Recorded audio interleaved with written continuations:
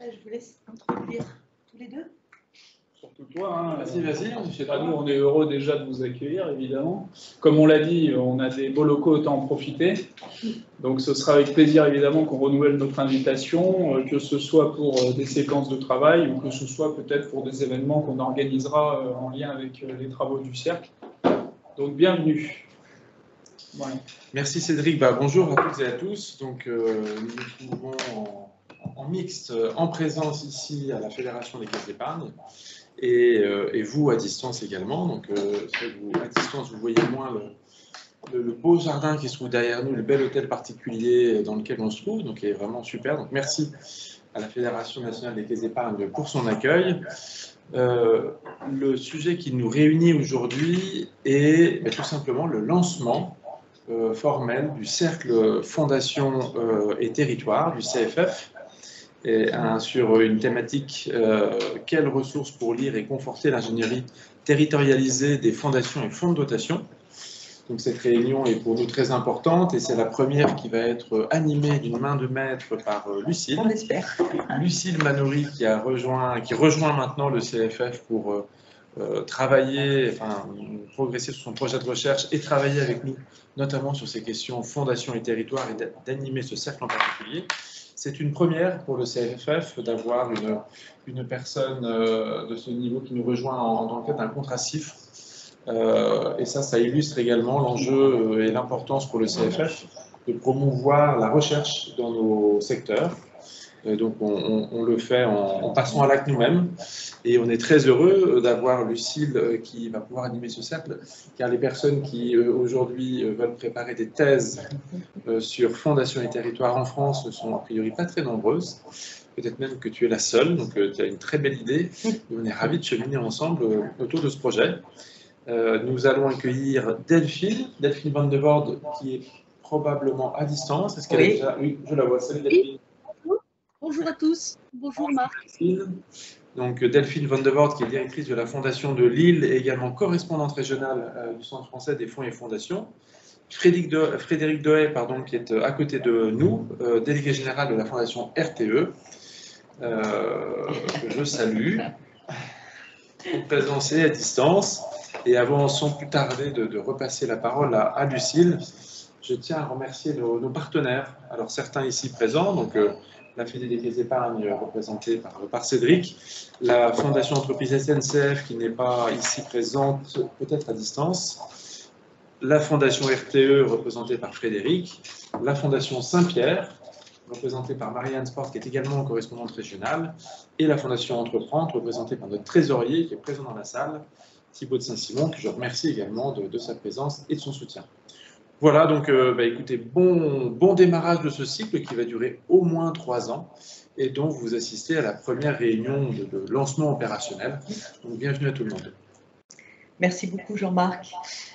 Donc euh, je prends euh, voilà, je prends je prends en main l'animation. D'abord pour vous souhaiter bienvenue et vous remercier tous de votre présence. Euh, ce que je vais vous proposer, c'est de prendre peut-être un tout petit peu de temps pour vous présenter un peu comment on envisage de faire vivre ce cercle, avant de rentrer dans le, un peu le détail, euh, on va dire, du cadre de travail qui va être le nôtre, et puis de, rentrer dans le vif du sujet avec nos intervenants, euh, et merci à eux de s'être mobilisés. tout d'abord, le cercle. Le cercle, en fait, euh, on a trois objectifs sur ce cercle. La première chose, c'est euh, de partager, de se, doter pardon, des clés de lecture euh, pour mieux organiser l'intervention des fondations et puis sécuriser leur portée sur les territoires. Ça, c'est le, premier point. L'idée, c'est d'aboutir à la co-construction. Alors, j'ai mis d'une ingénierie philanthropique mais je pense plutôt parler au pluriel d'ingénierie philanthropique sur les territoires. Euh, je vais vous expliquer pourquoi. Et l'idée vraiment de ce cercle, c'est de s'appuyer sur la diversité de vos expériences, la diversité de vos postures, pratiques et expériences des fondations euh, sur les territoires pour dégager des enseignements qu'on va pouvoir partager au profit de la construction de cette ingénierie. La programmation, en fait, on l'envisage en, pour l'instant en deux parties. Une première petite partie qu'on entame aujourd'hui, qui est consacrée à lire les territoires. Alors j'ai mis des guillemets parce que ça se lit pas comme un livre, évidemment, encore que ça peut avoir euh, euh, plusieurs euh, profondeurs de sens, comme on en trouve parfois dans les très bons romans. Voilà. donc là, on va on va passer trois sessions, en fait, jusqu'à septembre, ensemble, sur cette première exploration de la lecture des territoires. Et puis ensuite, on va rentrer dans une série de sessions qui ne sont pas encore autant découpées, euh, pour pouvoir co-construire ces fameuses ingénieries de l'intervention des fonds et fonds de dotation sur les territoires. Alors quand je dis qu'elles ne sont pas encore euh, euh, toutes découpées, j'ai évidemment plein d'idées de sujets à vous proposer, mais mon enjeu c'est qu'on puisse le définir ensemble et en définir ensemble la priorité, la priorisation, parce que on va essayer de caler autant que se faire se peut le cercle sur vos besoins, vos enjeux, vos questions, vos interrogations. Donc on est vraiment sur cette, euh, cette optique-là. Voilà, sur la structuration de l'activité du cercle, en fait l'idée c'est que le cercle il puisse à la fois s'appuyer sur l'animation réseau. Alors, vous avez vu le soin qu'on met à faire de la mixité pour permettre à la fois à des fonds et fonds de dotation qui sont à Paris et à des fonds et fonds de dotation qui sont dans les territoires de pouvoir participer. Euh, on va euh, donc d'où ces temps euh, mixtes des sessions nationales, mais on va essayer aussi de nourrir au rythme auquel on sera en mesure de le faire des échanges, débats en région. Le premier d'entre eux devrait avoir lieu à l'automne et on devrait commencer par la région Hauts-de-France, mais bien sûr on ira dans les autres régions par la suite. Et donc avec le, concours et la contribution de Delphine Van de Bord en tant que correspondante régionale. Euh, on va aussi prévoir des animations ciblées. Alors, ce que j'appelle animation ciblée, c'est euh, des animations qui, à un moment donné, vont s'intéresser à un type de fondation particulier, par exemple les fondations familiales, pourquoi pas les fondations universitaires, euh, voilà, de telle façon qu'on ait un focus sur la relation entre ces fondations et les territoires qui pourra en retour nourrir le cercle au niveau national. L'idée, c'est qu'il y ait des allers-retours entre le niveau national et le niveau des territoires. Euh, et puis, sur euh, ces différents temps, on va évidemment s'appuyer sur des témoignages des uns et des autres. c'est vraiment ça qui va faire, on va dire, la matière euh, forte du cercle, et puis des études de cas, euh, puisque comme vous l'a annoncé Jean-Marc, je suis en thèse, donc je vais en profiter pour faire une série d'investigations plus approfondies, mais dont je ferai évidemment profiter le cercle aussi. Voilà, avec peut-être une traduction euh, de l'aspect scientifique dur que, je vais prendre en main. Voilà. L'enjeu, c'est d'aboutir à l'issue de ces trois ans à la production d'un guide méthodologique qui puisse euh, euh, nourrir les uns et les autres autour de ces fameuses ingénieries philanthropiques euh, sur les territoires. Enfin, dernière chose, c'est que ces sessions nationales, l'idée c'est que ce soit aussi des temps d'actualité partagés entre nous. et donc, je vous invite d'ores et déjà à nous informer si euh, sur notre sujet qui est Fondation et Territoire, il y a déjà des choses que vous avez euh, euh, perçues. Je sais qu'on a un membre de notre comité de pilotage qui, qui repère pas mal d'actu et je pense que ça va nous aider. donc Thibaut de Saint-Simon ici présent de la Fondation Entreprendre. Et, mais vraiment, l'idée, c'est que ce soit euh, interactif, de partage, c'est-à-dire qu'on s'informe, que ce soit vraiment un lieu, ce cercle, qui soit un lieu de, euh, à la fois d'enrichissement commun et de partage d'informations et de, et de réflexion partagée. Voilà. Voilà, pour rentrer dans le, vif de ce sujet, en fait, euh, trois sessions pour lire les territoires. Alors, l'idée qui est la mienne, c'est de dire que chacun d'entre vous, de là où vous vous situez, que vous soyez une fondation nationale, un fonds de dotation euh, ancré sur les territoires, que vous soyez une fondation organisée de façon territorialisée, ou une fondation nationale qui n'a pas d'organisation territorialisée. En fait, chacun d'entre nous, on porte une représentation et une vision des territoires, on porte une connaissance vécue des territoires et des représentations. Et donc, l'idée, c'est vraiment s'appuyer sur votre diversité pour venir nourrir cette lecture des territoires. Bien évidemment, moi, je vais apporter un peu des éléments de cadrage, mais l'idée, c'est de partir de vos territoires d'action, ce que j'appelle des territoires d'action, des organisations, pour pouvoir nourrir une approche, parce que les, territoires sont, des, sont des, dimensions complexes, pour pouvoir nourrir une approche euh, plurielle euh, des territoires. Et donc aujourd'hui, on a Frédéric avec la fondation RTE, euh, qui est en fait une fondation nationale qui a une organisation territorialisée et une intervention territorialisée. On a Delphine Van de Voorde, qui est une fondation territoriale, qui est de la Fondation de Lille, euh, qui est donc ancrée sur le, territoire lillois, mais elle vous en parlera plus précisément. Et donc j'avais envie de commencer ce cercle avec ce double regard pour ensuite approfondir dans les deux sessions qui suivent. Euh, celle du 28 juin de 11h à 13h, ça sera vraiment sur l'organisation des fondations ancrées sur les territoires. Et donc là, on va, au-delà de la Fondation de Lille, rentrer un peu plus dans la perception euh, de fondations qui sont ancrées. Et vous allez voir que quand on dit ancrées, en fait, il y a différentes manières d'être ancrées euh, sur les territoires. Et, puis en septembre, ça sera à contrario plutôt l'organisation et les enjeux territoriaux des fondations nationales intéressées à l'intervention territoriale. Quand je dis intéressées à, l'intervention territoriale, ça nous pose déjà une question, une première question qui est que finalement, est-ce que le territoire, c'est en soi une cause d'intérêt général? Pour certains d'entre vous, peut-être que oui. Euh, euh, et où est-ce que c'est le terrain de travail singulier qui vient conforter la portée de vos interventions, euh, euh, qu'elles soient sectorielles, thématisées, voilà. Et donc, il y a vraiment l'idée de voir où se situe le territoire, et ça, on va le voir à travers les deux sessions suivantes.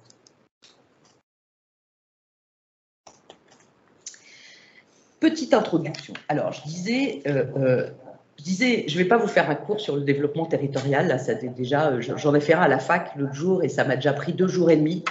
Donc, euh, on, va juste prendre une des portes d'entrée pour rentrer dans la vie du cercle. Et euh, pour un premier message qui est quand même le territoire, c'est une notion un peu polysémique, c'est-à-dire que vous voyez, là j'ai mis par exemple sur la diapo, j'ai mis en haut à droite deux petits exemples de cartographie. Et rien quand euh, l'Institut national de géographie travaille sur les territoires, ils sont capables de nous faire des cartographies de différentes natures. Mais attention, parce que ça, c'est l'approche physique, matérielle des territoires. Mais le territoire, en fait, les, les, les, acteurs et les penseurs du, développement territorial l'appréhendent aussi comme un construit social. C'est-à-dire, ce n'est pas qu'un simple espace géographique. L'idée, c'est qu'un territoire, c'est vraiment un concours d'acteurs qui, même s'ils sont ancrés dans un espace géographique délimité, euh, euh, se mobilisent ensemble pour résoudre un problème ou bénéficier d'un avantage qui est jugé partagé par ces acteurs. Donc en fait, il faut prendre dans ce sens-là les territoires comme des organismes vivants euh, qui mobilisent plusieurs, euh, on va dire, euh, ressources biologiques pour pouvoir fonctionner. Voilà, il y a vraiment cette, cette image-là, elle est importante. Et l'autre élément à retenir, c'est que les territoires, ça s'élabore par compromis. C'est-à-dire qu'à partir du moment où on le prend comme un construit social, en fait, c'est bien non seulement la position de chacun des acteurs, mais aussi les interactions entre les acteurs, euh, euh, leurs interventions, euh, qui vont, comment dire, faire l'objet de transactions, de, compromis qui vont faire progresser le territoire dans ce qu'il est. Voilà. Et c'est en ça que euh, le territoire est un organisme vivant. Si, je reprends euh, mon analogie, euh, si vous mangez une salade ou si vous mangez un gros gratin au reblochon, bah, sur votre corps, ça ne va pas produire la même chose. Bah, pour les territoires, d'une certaine manière, c'est pareil.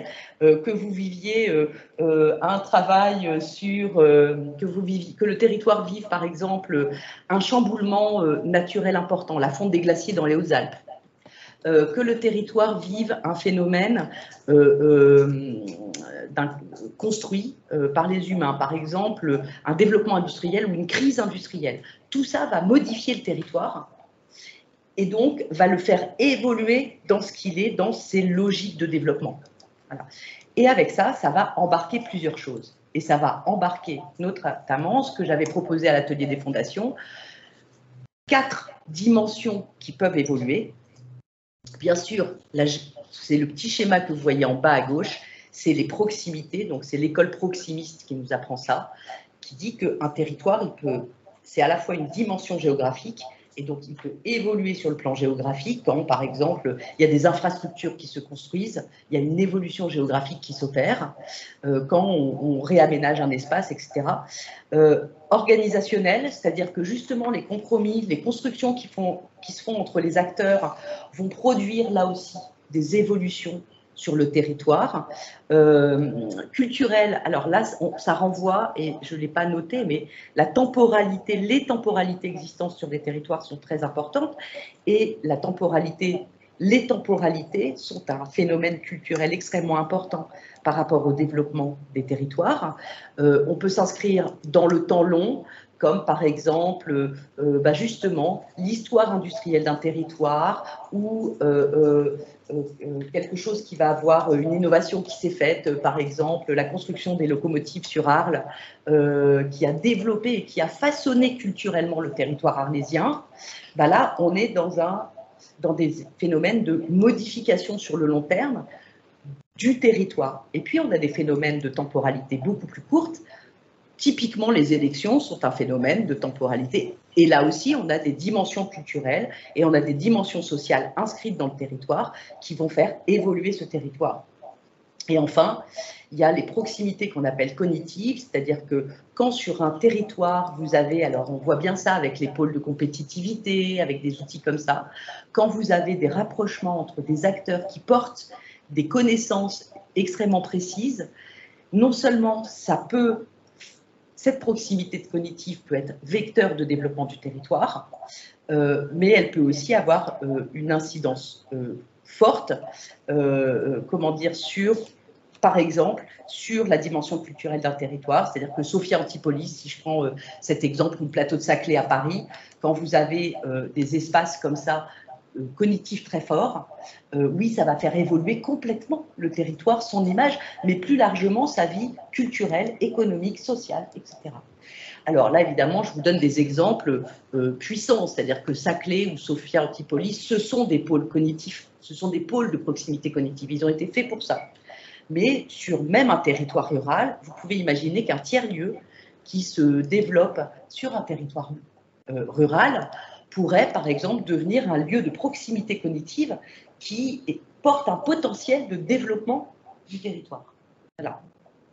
Je ne vais pas vous assommer plus que ça. C'était une manière de nous donner une première grille de lecture commune et qui peut peut-être aussi euh, servir de, point de repère à nos intervenants pour pouvoir euh, euh, bah, justement présenter un peu leur territoire d'action autour de ce qu'ils veulent faire. Euh, maintenant que j'ai dit ça, euh, en fait, euh, mon idée, avant qu'on rentre dans la première séquence et vous voyez un certain nombre de questions que je vous propose, c'est que avant d'entrer dans les questions, moi, je voudrais vous faire intervenir les uns les autres. Alors, vu que vous êtes quand même assez nombreux, on avait imaginé vous faire intervenir par chat ou pour les gens qui sont en présence sur des petits post-it, vous savez, cet outil classique là qui est super pratique. Euh, donc je vais vous laisser euh, voilà, circuler les post-it autour de deux questions. Une première question, c'est euh, quelles sont vos attentes vis-à-vis de ce cercle? On va dire attentes de nature générale. Est-ce que vous avez des attentes particulières? Et quand je vous dis qu'on va co-construire la, la, deuxième séquence sur les ingénieries philanthropiques, c'est euh, à partir de ces paroles-là que euh, ça va pouvoir le nourrir. Et ma deuxième question, donc la première question attendue générale, et ma deuxième question, c'est est-ce qu'il y a des sujets précis qui vous posent question et que vous souhaiteriez qu'on aborde dans le cadre de ce cercle? Je ne vous dis pas qu'on va y répondre euh, dans les, deux minutes qui arrivent, hein, mais au contraire, ça va nourrir le processus de co-construction d'ingénierie philanthropique dédiée au territoire qu'on va essayer de, qui est l'objectif de production du cercle. Donc, je vous laisse, euh, voilà, trois minutes 3-4 minutes avant qu'on rentre dans le vif du sujet de la première séquence. Après, pour ceux qui sont à distance, évidemment, il y a le chat. Euh, euh, Anne, qui est près de moi, elle a l'œil rivé sur le chat. Donc, si vous avez des questions particulières, des remarques particulières, des indignations particulières aussi, bah, vous n'hésitez pas à en faire part dans le chat. Deux questions, rappelle-nous. Alors, première question, l'attendu général par rapport au cercle, ou les attendus ah généraux par rapport au cercle. Et deuxième question, est-ce que vous souhaiteriez voir une thématique particulière traitée? Alors, je peux vous faire une liste à l'après-vert des thématiques, hein, si, si, vous manquez d'inspiration. Oui, je, alors, alors, petite liste à l'après-vert dans ce que j'ai imaginé. Euh, euh, c'est vrai qu'il y, y, a des questions. Alors, on entend beaucoup parler dans le milieu des fondations de l'impact social. Euh, or, aujourd'hui, dans les travaux de recherche, on parle aussi de l'impact social territorial. Donc, ça pourrait être quelque chose qui va de impact social et utilité sociale des organisations à impact social et utilité sociale territoriale, où on pourrait faire un focus là-dessus. On peut faire un focus, par exemple, sur une entrée thématisée de type insertion et emploi et territoire, euh, ou euh, santé et territoire, ou euh, éducation et territoire. Donc ça, c'est plutôt les entrées thématisées. On peut faire des entrées de type relation aux acteurs publics sur les territoires. On peut faire une entrée sur la question du don contre don sur les territoires. Je ne vous cache pas que ça fait partie de mes sujets de recherche. Euh, euh, qu'est-ce que je pourrais vous citer encore? Euh, Il y a la question de territoire et innovation sociale. Il y a la question de, des alliances philanthropiques sur les territoires ou des alliances tout court sur les territoires. Mais là, je ne voudrais pas déborder les travaux que fait le rameau non plus. Pour ceux qui ne connaissent pas, le rameau a lancé depuis plusieurs années euh, un programme de travail sur euh, les alliances en territoire qui aboutit aujourd'hui à la création d'une fondation des territoires. Donc, euh, je, pense que c'est aussi un lieu où on peut puiser un certain nombre d'éléments d'information, de ressources. ici, pour moi, la notion d'ingénierie philanthropique, en fait, on va surtout s'attacher à la question des transactions. C'est pour ça que cette question des relations, euh, entre les uns et les autres, des relations entre les systèmes d'acteurs, c'est quelque chose d'intéressant. Et puis, on va surtout préserver l'entrée fondation, c'est-à-dire que moi, je vais toujours rentrer par la question des fondations et de l'action des fonds et fonds de dotation. Voilà, alors euh, j'ai lancé quelques pistes, euh, et puis je suis très heureuse de voir les vôtres qui arrivent. qui vient sur votre chat. Hein. D'accord. Alors, Aurélie Reder nous dit pour mécène, Mécène Solidaire, ce cercle nous inspirer afin de faire évoluer nos pratiques, inclure davantage les citoyens. Alors ça, c'est aussi quelque chose. La question société civile, euh, habitants euh, euh, et action des fondations. Euh, elle dit faire évoluer notre gouvernance. Alors ça aussi, ça peut être un sujet intéressant, gouvernance et territoire. D'ailleurs, il y a la question de la gouvernance des organisations et puis il y a ce qu'on appelle dans notre jargon euh, euh, la gouvernance territoriale. Donc ça fait partie des choses que je pourrais mettre sur la table lors d'un moment particulier, améliorer notre maillage géographique, confronter notre modèle d'impact social à d'autres, euh, animation optimiste de l'écosystème d'acteurs, ça c'est joli. Ah, moi je ne peux pas descendre. Je ne sais, pas pourquoi, mais il ne peut pas. Si tu veux nous en dire. Euh, ah, c'est peut-être pour ça que je ne peux pas descendre. En tous les cas, merci à vous et, merci de, continuer. C'est-à-dire c'est un, apport que vous pouvez faire tout au long de notre, session. Euh, s'il y a des idées qui vous viennent aussi au fur et à mesure de, l'intervention euh, de nos intervenants euh, sur le cercle. Et puis, bien sûr, ici, je vais récolter les post-it au fur et à mesure au maximum à la fin de la session. Voilà. Après, donc je vais vous emmener sur la suite.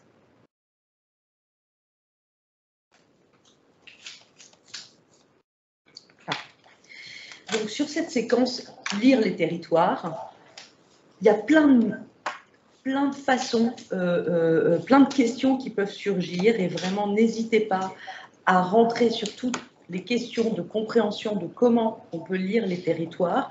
Donc pour l'instant, je vous ai dit, on a plusieurs cartographies possibles, des cartographies qui ne sont pas toutes géographiques.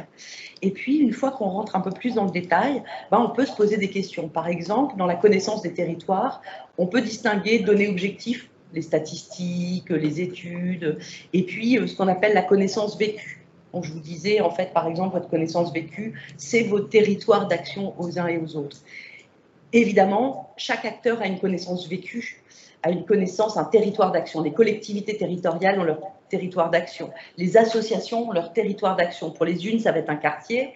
Euh, pour les autres, ça va être euh, une région, etc. Et donc, et une fois qu'on a dit ça, en fait, la connaissance vécue, elle va évidemment plus loin que le seul périmètre. Euh, ça peut être des questions de type comment est-ce qu'on peut prendre connaissance des différents projets sur un territoire, en tenir compte pour établir ma stratégie philanthropique.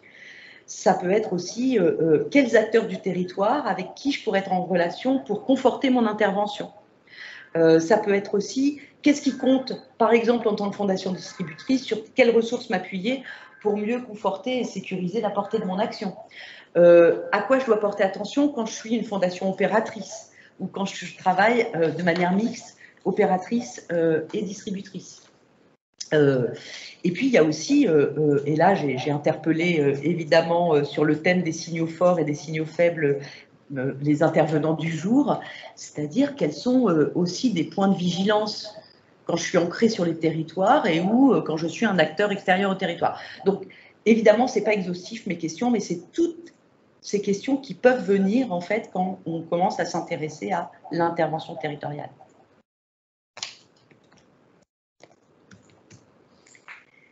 Alors, j'ai oublié de dire, juste avant de laisser la parole à Frédéric, quand même, la manière dont est organisée la session aujourd'hui, donc on a imaginé les choses en deux temps c'est-à-dire vraiment un temps où j'ai demandé à nos intervenants, donc Frédéric Doé, que je laisserai mieux se présenter, puis Delphine Van de Voorde, euh, d'abord de, se présenter, d'expliquer comment ils sont organisés. Pourquoi? Parce qu'il y a vraiment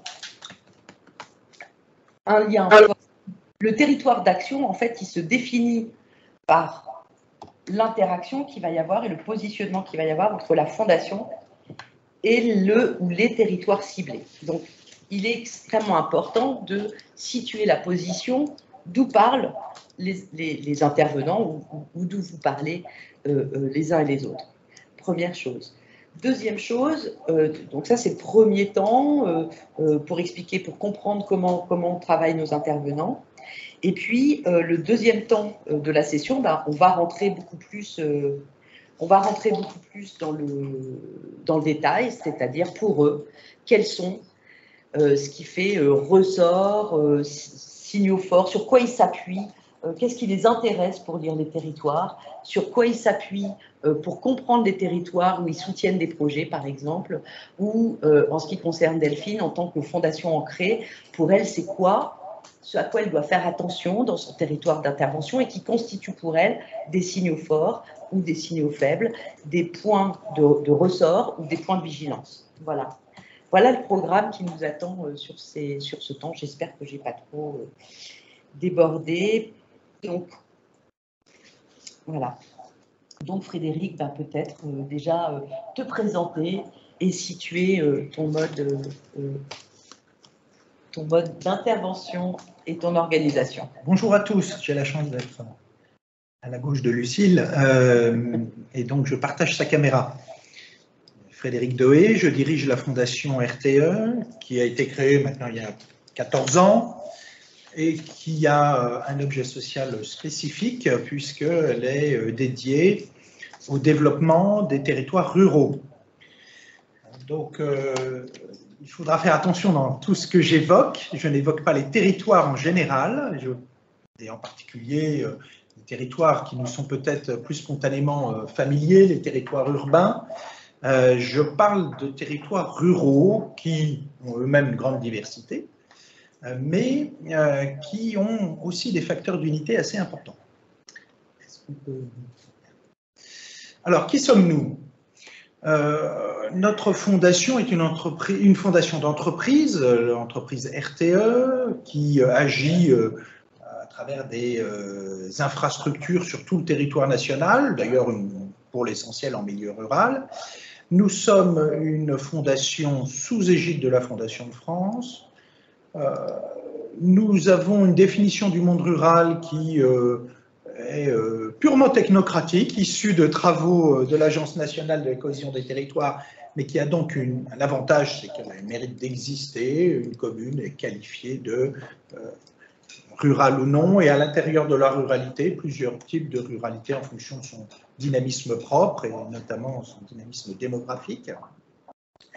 Nos ressources, quand même, pour situer un peu le contexte, en tant que fondation, sommes une fondation de flux et nous ne procédons pas à des collectes. Nous avons eu de temps en temps un don euh, un peu exceptionnel, mais l'essentiel de nos ressources viennent de l'entreprise fondatrice.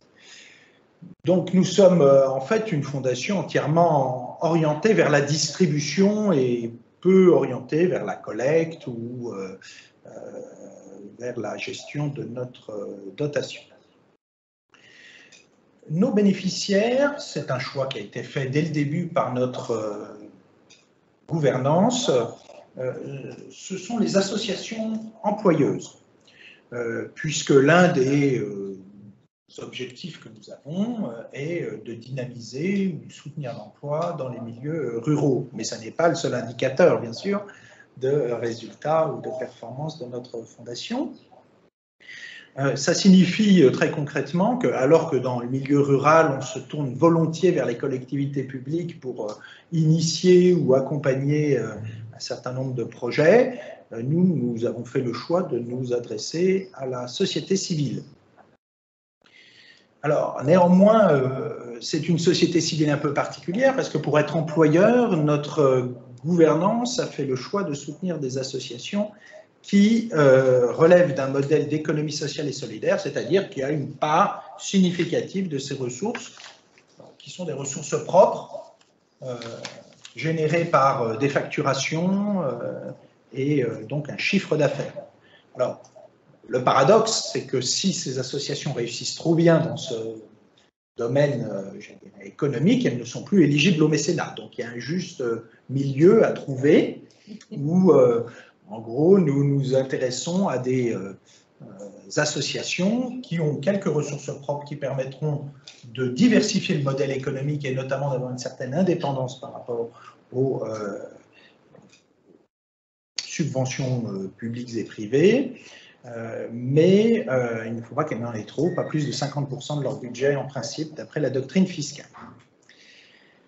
Nous avons, un peu vite, nous avons euh, renoncé à lancer des appels à projets.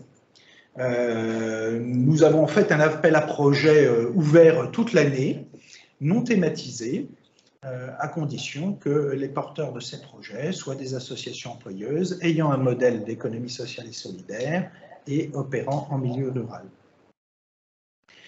Nos publics sont euh, très divers euh, et non spécialisés. Je veux dire par là qu'il nous arrive d'avoir des projets euh, en direction de publics fragiles et vulnérables, mais c'est aussi pour d'autres projets la qualité de vie de l'ensemble de la population, l'attractivité du territoire dans son ensemble qui peuvent être concernés. Au total, nous avons un million d'euros à, distribuer par an et nous avons fait le choix, euh, notre gouvernance a fait le choix de le distribuer sur des, projets de petite taille qui sont autant de petites graines de développement sur le territoire rural. Donc voilà, c'est un certain nombre, vous voyez, de, choix qui ont été faits en amont. Jolie formule, petite graine de développement. Et, oui, et puis euh, surtout, euh, et on va en parler tout à l'heure, nous espérons trouver des terrains fertiles. voilà. Donc euh, c'est bien l'ensemble projet et territoire qu'il faut considérer et pas seulement le projet tout seul. Euh, J'ajoute que depuis euh, quelques années, nous, euh, ajoutons à notre appui financier un appui technique avec un parcours d'accompagnement, de la mesure d'impact social pour les associations qui le souhaitent, la réalisation de bilan de carbone pour celles qui le souhaitent. Et puis aussi un accompagnement humain, en particulier le parrainage par les salariés de notre entreprise fondatrice. Et puis nous commençons à nous diversifier un peu vers le mentorat. Nous avons commencé cette année. Donc certaines associations souhaitent être accompagnées euh, dans leur euh, progression et plus particulièrement au sein de ces associations, leurs managers. Et puis du bénévolat et mécénat de compétences, mais là aussi c'est euh, au début. Donc notre vision est de permettre aux territoires ruraux de se développer durablement, même si je suis bien conscient que le terme développement durable aujourd'hui est un peu dépassé, mais il se trouve que ça, correspond à une certaine réalité au milieu, dans le milieu rural où les choses prennent un certain temps pour mûrir et pour se mettre en œuvre, et en même temps euh, qui doivent chercher son, son équilibre euh, économique afin d'accroître leur résilience à ces territoires et leur capacité à traverser les transformations qu'ils connaissent. Vous imaginez qu'effectivement, euh, les territoires ruraux, comme beaucoup d'autres territoires, sont touchés euh, par euh, la transition euh, écologique et énergétique, mais on pourrait parler de la transition numérique qui se déroule dans un contexte assez différent de celui des villes, hein, puisque vous n'ignorez pas qu'il y a encore une certaine partie du territoire qui est encore mal desservie par les infrastructures numériques, et puis bien d'autres transitions euh, agricoles et alimentaires, bien sûr, s'agissant des territoires ruraux, euh, transition démographique, puisque même si on parle actuellement non plus d'exode rural, mais d'exode urbain, c'est un exode qui touche des personnes plutôt âgées. Et donc, euh, euh, si euh, la, baisse de la population rurale est en, enrayée depuis en fait très longtemps, depuis l'année 2000 à peu près, donc c'est quand même une histoire un peu ancienne. Il reste quelques départements qui perdent de la population, une dizaine en, en France. Euh, mais 80 euh, départements ruraux continuent à en gagner. Hein, voilà, modestement, mais en gagner. En revanche, l'âge moyen continue à euh, s'élever. Notre mission, je vais aller rapidement, co-construire euh, avec les acteurs locaux euh, pour anticiper et bâtir le monde rural solidaire du 21e siècle. Vous voyez, c'est des formulations comme on aime bien dans nos, missions. Alors, notre territoire d'intervention, je vous disais, est fixé sur une carte euh, elle-même issue de travaux de l'INSEE de l'ANCT, l'Agence nationale de cohésion des territoires. Donc, nos territoires d'intervention, c'est toute la France que vous voyez là, sauf les poches grises euh, d'urbanisation. Euh, alors, évidemment, l'île de France, de ce point de vue-là, est quand même assez fortement euh, urbaine. mais voyez, c'est une carte fine à la, commune. Et puis à droite, vous voyez la carte d'intervention des 12 dernières années, euh, avec un, on, le voit, quelques, quelques régions qui sont moins dynamiques sur le plan de l'économie sociale et solidaire que d'autres. C'est peut-être aussi l'efficacité euh, du bouche à oreille euh, entre bénéficiaires de la Fondation. Alors, je vais vous parler de trois exemples très rapidement, parce que je suis bien conscient que je parle trop longtemps. Premier exemple de rapport au territoire, euh, qui est un projet qui s'appelle La Chambre d'eau, un projet de culture itinérante en milieu rural. C'est euh, un espace d'exposition démontable, pour être clair, une yourte, qui euh, euh, se déplace de village en village. Alors, le lien avec le territoire est généralement euh, formalisé par un lien avec la commune qui l'accueille, qui lui propose un terrain, également avec des associations culturelles locales. Et l'exposition, en revanche, est une exposition itinérante à l'initiative de la Chambre d'eau. C'est un premier lien. Il se trouve que le choix qui est fait n'est pas de changer euh, fréquemment de, euh, de, village ou de, petite ville, mais d'y rester euh, plusieurs semaines afin que, à l'occasion de son passage sur ce territoire, un certain nombre de réunions, d'événements susceptibles de créer des liens sociaux au sein de la population se déroulent dans cette enceinte si on devait théoriser un peu, c'est un tiers-lieu culturel itinérant. Voilà. Mais euh, l'idée est, de donner l'occasion à ce que des choses qui ne se font pas habituellement dans ces villages se fassent à l'occasion de la mise en place de, de cet espace culturel. Euh, un deuxième exemple que je voulais évoquer, c'est euh, les territoires zéro chômeur de longue durée. Alors, TZCLD, c'est peut-être assez technique pour euh, certaines personnes qui ne connaissent pas encore ce, ce concept. Sachez que ce sont des territoires de petite taille pour le moment, euh, plutôt à l'échelle communale, qui euh, se décident de tout mettre en œuvre, avec une gouvernance spécifique dont je vais parler dans un instant, pour faire disparaître le chômage de longue durée sur leur territoire.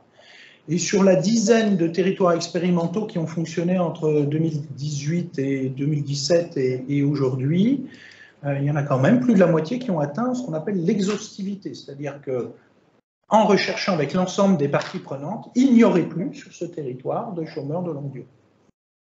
L'expérimentation se poursuit dans une deuxième phase. Aujourd'hui, il y a une vingtaine, une trentaine de nouveaux territoires qui ont été euh, labellisés et il y en aura sans doute encore quelques dizaines de plus à la fin de cette année. Euh, et, c'est là que euh, ces territoires ont une particularité quand on est en zone rurale. C'est qu'en zone rurale, le bassin d'emploi, je vous fais toucher du doigt, mais évidemment beaucoup plus étroit qu'en ville. Euh, si vous êtes dans une grande ville, vous êtes chômeur dans votre quartier, mais on peut imaginer qu'il y ait des offres de travail qui vous soient faites ailleurs. C'est plus difficile en territoire rural et, et ce n'est pas la question seulement de, la mobilité sur ce territoire. La mobilité généralement assez élevée, même si un certain nombre de personnes empêchées. Mais euh, en revanche, c'est le, bassin économique qui est limité, c'est les opportunités économiques qui sont limitées.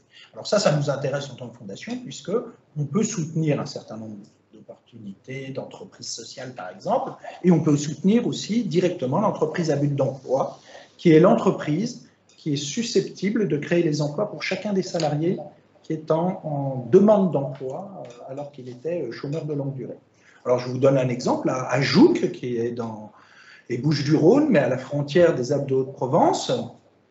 L'association euh, Entreprise à but d'emploi Élan euh, alors effectivement, bénéficie d'une gouvernance propre en tant qu'association qui ressemble à beaucoup d'autres associations locales, mais qui s'appuie sur un comité local qui lui renforce, enfin, est composé de l'ensemble des forces vives du territoire, et notamment, et ça c'est vraiment important pour le succès de cette expérimentation, euh, des représentants des entreprises privées. Euh, puisque l'un des objectifs, c'est que les emplois créés ne viennent pas en concurrence des emplois que les entreprises commerciales auraient créés. Il s'agit de créer des emplois dits utiles au territoire, et pour s'en assurer, les entreprises privées sont euh, largement euh, partie prenante de, de, la démarche. Donc ça, c'est un lien très fort avec le territoire, mais plus particulièrement avec le territoire institutionnel, hein, mais aussi les grands services publics en charge de l'emploi, de l'insertion, de la formation, et puis évidemment le tissu entrepreneurial et associatif.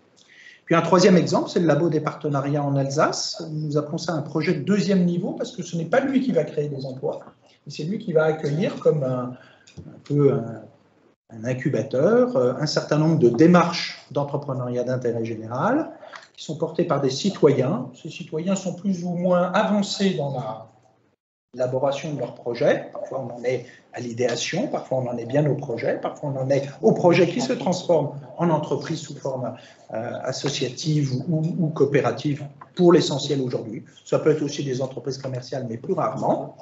Et, et donc, euh, ce labo des partenariats euh, a été appelé, alors que ça n'était pas sa vocation première, euh, par euh, un, un, territoire. Autrefois, on disait un pays, aujourd'hui, on dit un pôle, euh, je vais me tromper, euh, de. Pôle territorial. Oui, territorial rural. D'équilibre, absolument, territorial rural en Alsace du Nord pour les aider à tirer parti sur le plan d'initiatives économiques portées par des citoyens en Alsace du Nord, tirer parti de leur plan climat, air, énergie territorial. Alors, ce, ce, cet acronyme, plan, climat, air, énergie territoriale, c'est pas très euh, attractif, mais c'est une nécessité par la loi pour les territoires de plus de 50 000 habitants, ce qui est le cas pour l'Alsace du Nord. Et donc, euh, j'ajoute que la, cheville ouvrière dans ce territoire, c'est aussi le parc naturel régional des Vosges du Nord qui se trouve à, cet endroit-là et qui a déjà une expérience d'animation du territoire sur le plan économique. Mais là, l'idée était de trouver des citoyens désireux de s'engager vers des actions climatiques ou d'aménagement du territoire ou de valorisation des ressources naturelles. Et c'était, je pense, la première fois qu'une démarche assez technocratique et assez bureaucratique venue d'instructions nationales, euh, fondée sur des méthodologies de bureaux d'études bien euh, construites, allait quand même à la rencontre des citoyens qui habitent ce territoire. Moi, j'ai été frappé de voir qu'il y avait un certain nombre de citoyens qui, à cette occasion, ont exprimé leur envie, par exemple, de se reconvertir professionnellement. Ils n'étaient pas nécessairement chômeurs, mais ils pouvaient, à cette occasion, devenir entrepreneurs autour de sujets euh, comme la valorisation des ressources naturelles, par exemple le bois ou euh, certains, certaines, certains minerais, mais à petite échelle, bien sûr. Et même la ressource des déchets, par exemple. Il y avait euh, l'économie circulaire avec la ressource des déchets. Euh, il y avait aussi des services qui étaient attendus, euh, par exemple, euh, avoir un conseil en isolation thermique du bâtiment qui soit d'intérêt général et non pas d'intérêt privé. La crainte, c'est que vous commandiez des travaux qui ne sont pas nécessaires et que vous n'ayez pas les résultats nécessaires, enfin attendus en termes d'isolation thermique du bâtiment. Vous imaginez qu'en Alsace, la question de l'isolation thermique des bâtiments est une histoire ancienne, d'ailleurs, on ne part pas de zéro, mais pour les, les bâtiments modernes, c'est vraiment important. Voilà, j'étais un peu long, mais c'est pour vous donner trois exemples de liens avec le territoire assez différents les uns des autres. Alors, Frédéric, un grand merci. Alors, moi, j'ai plein de questions à te poser.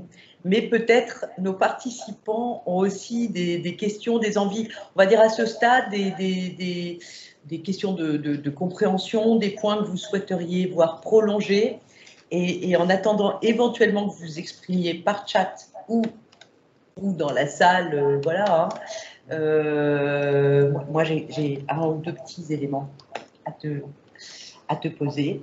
La première chose, euh, tu parlais des bénéficiaires, des associations employeurs, et autour de ces bénéficiaires, bah, finalement, ces associations, elles ont elles-mêmes un écosystème. Est-ce que tu regardes quand, tu fais de, quand vous faites de l'instruction de projet, est-ce que vous vous intéressez à cet écosystème?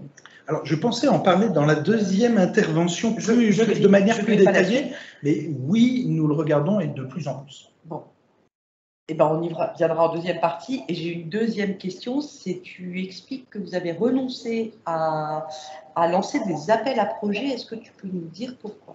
Alors, je pense qu'au début, c'était par simplicité, hein, mais ça n'est pas une bonne raison.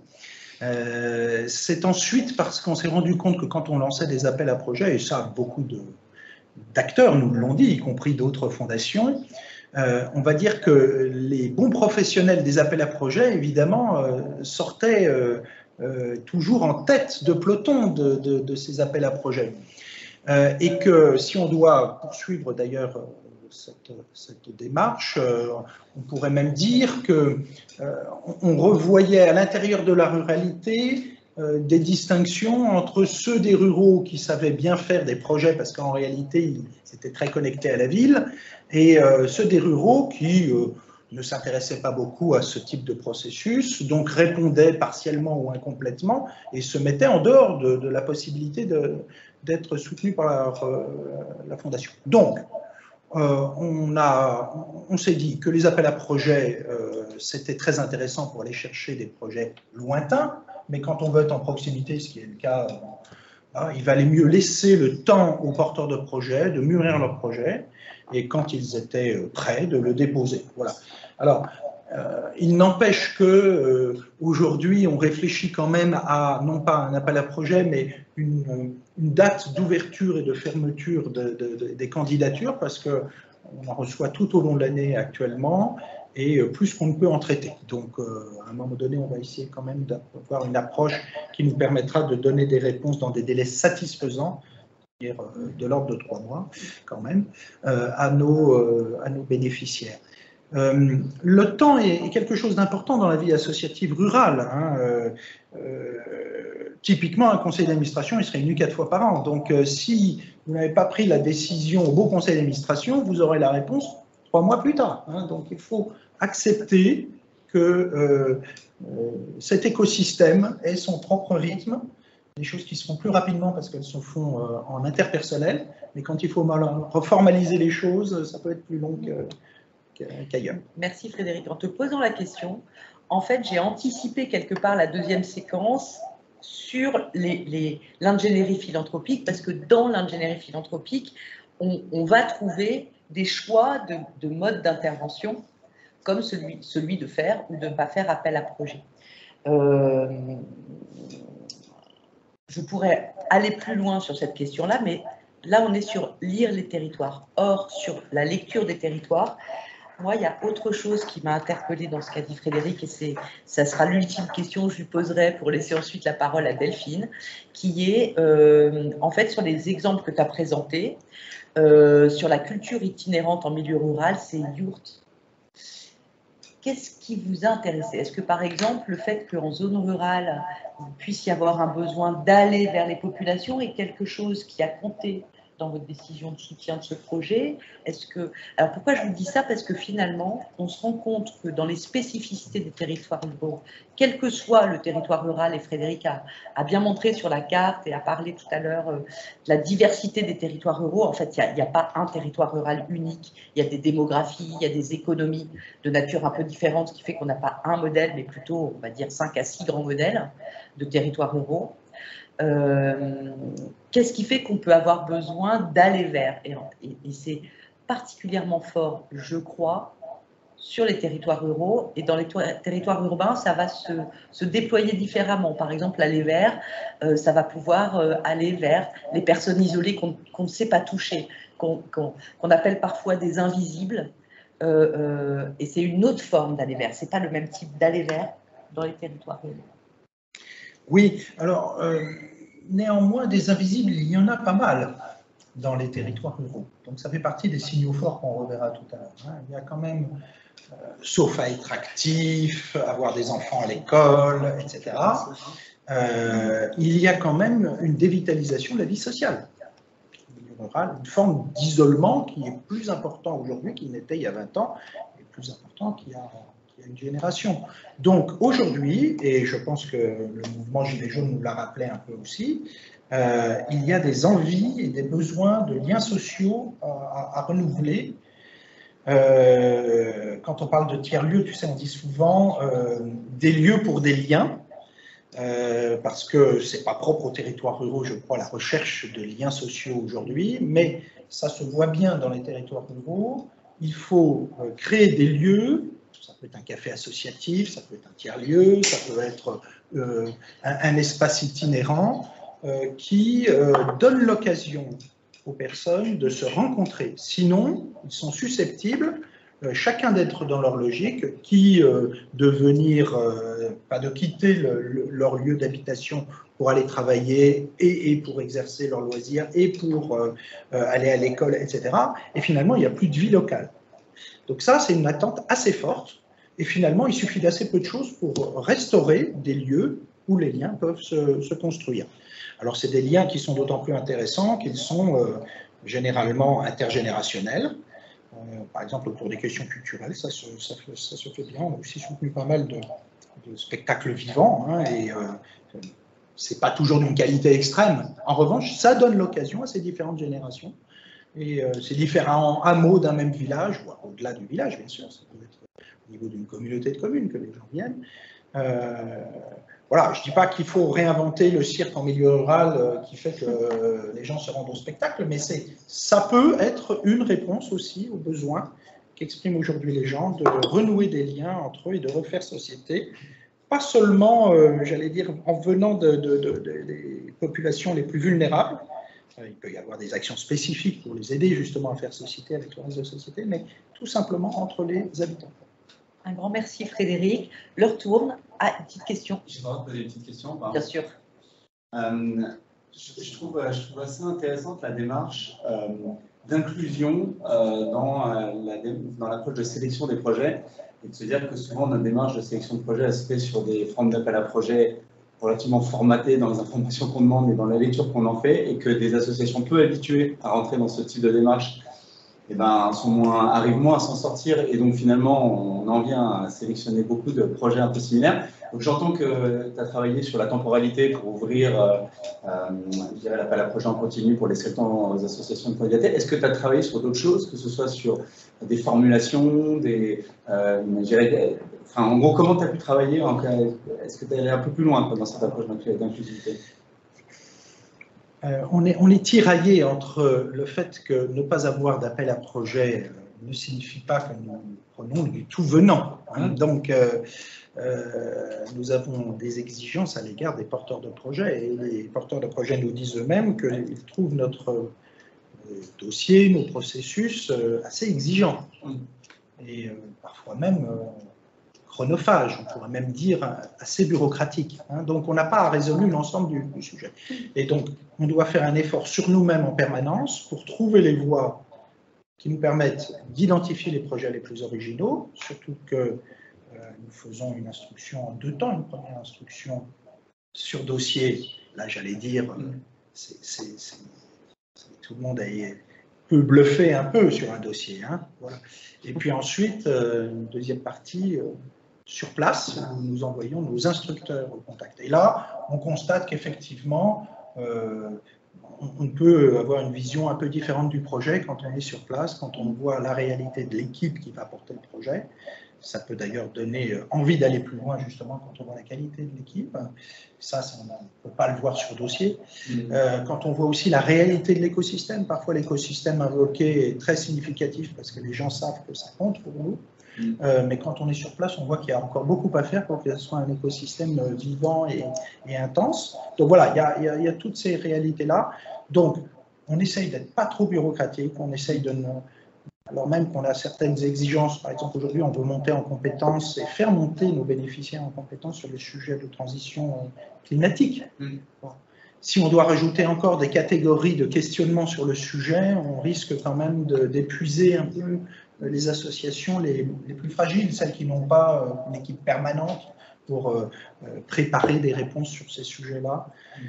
donc on essaye de trouver un équilibre. C'est un compromis évolutif. Oui, peut-être qu'un sujet de type fondation, territoire et transition climatique, ça pourrait être bien intéressant. Alors, l'heure tourne, donc j'ai pas vu trop de questions, mais peut-être vous êtes timide, c'est possible. Juste peut-être un, mot en t'écoutant, tu as parlé de l'échelon des pays. Oui. C'est un échelon intéressant. Je discutais il y a peu avec Michael Restier, qui est le directeur de l'Agence euh, de l'Association nationale des, pôles euh, territoriaux et de pays. Donc, c'est Cédric Turini qui parle. Enchanté. de la Fédération nationale des caisses d'épargne. Je me demandais si tu les avais dans tes radars euh, sur les différents entretiens. Il est prévu d'être en relation avec eux, parce que je trouve que le pays est peut-être l'échelon peut-être de toutes les assos, on va dire, qui fédèrent les collectivités. C'est peut-être celui qui nous intéresse le plus finalement pour ce type de travaux. Écoute, pourquoi pas? Ouais. Moi, je n'exclus rien. En plus, ils ont un positionnement intéressant parce qu'ils ont 2000 agents sur le terrain. Alors, c'est beaucoup et c'est peu à la fois. Et eux, ils cherchent justement quelque part à se positionner là où les autres ne se positionnent pas. Et sur l'ingénierie de territoire, ils ont d'ailleurs l'intention de produire un guide là euh, dans les prochains mois sur l'ingénierie territoriale euh, publique plutôt, puisque c'est leur, clientèle. Mais ils se questionnent beaucoup justement sur comment euh, je développe cette ingénierie en territoire. Et je pense qu'eux seraient des bons relais. Des bons relais et où ce que je n'ai pas évoqué, c'est que le cas échéant, on peut mobiliser, selon la thématique du cercle, on peut mobiliser une expertise singulière qui, à un moment donné, peut venir aussi éclairer les travaux du cercle. Je pense que, ça, fait partie des choses qu'il faut pouvoir concevoir aussi. Euh, du coup, Delphine, es-tu es -tu là Delphine est là. Je suis là. Voilà. Je te propose de prendre le relais autour de cette même question euh, donc de, présenter la Fondation de Lille, euh, son rapport au territoire, et peut-être puisque euh, la Fondation de Lille est une des, fondations territoriales pionnières, que tu puisses juste nous rappeler, nous préciser ce que, peut-être ce, ce qui est une fondation territoriale, tout simplement, hein, et, et ce qui évidemment n'exclut pas l'action d'autres fondations sur les territoires. Oui, merci et bonjour à toutes et tous. Et euh, je commence par euh, remercier le Centre français des fonds et fondations pour, cette démarche de créer sur le long terme euh, un programme Fondation et Territoire et accompagné par Lucille Manoury.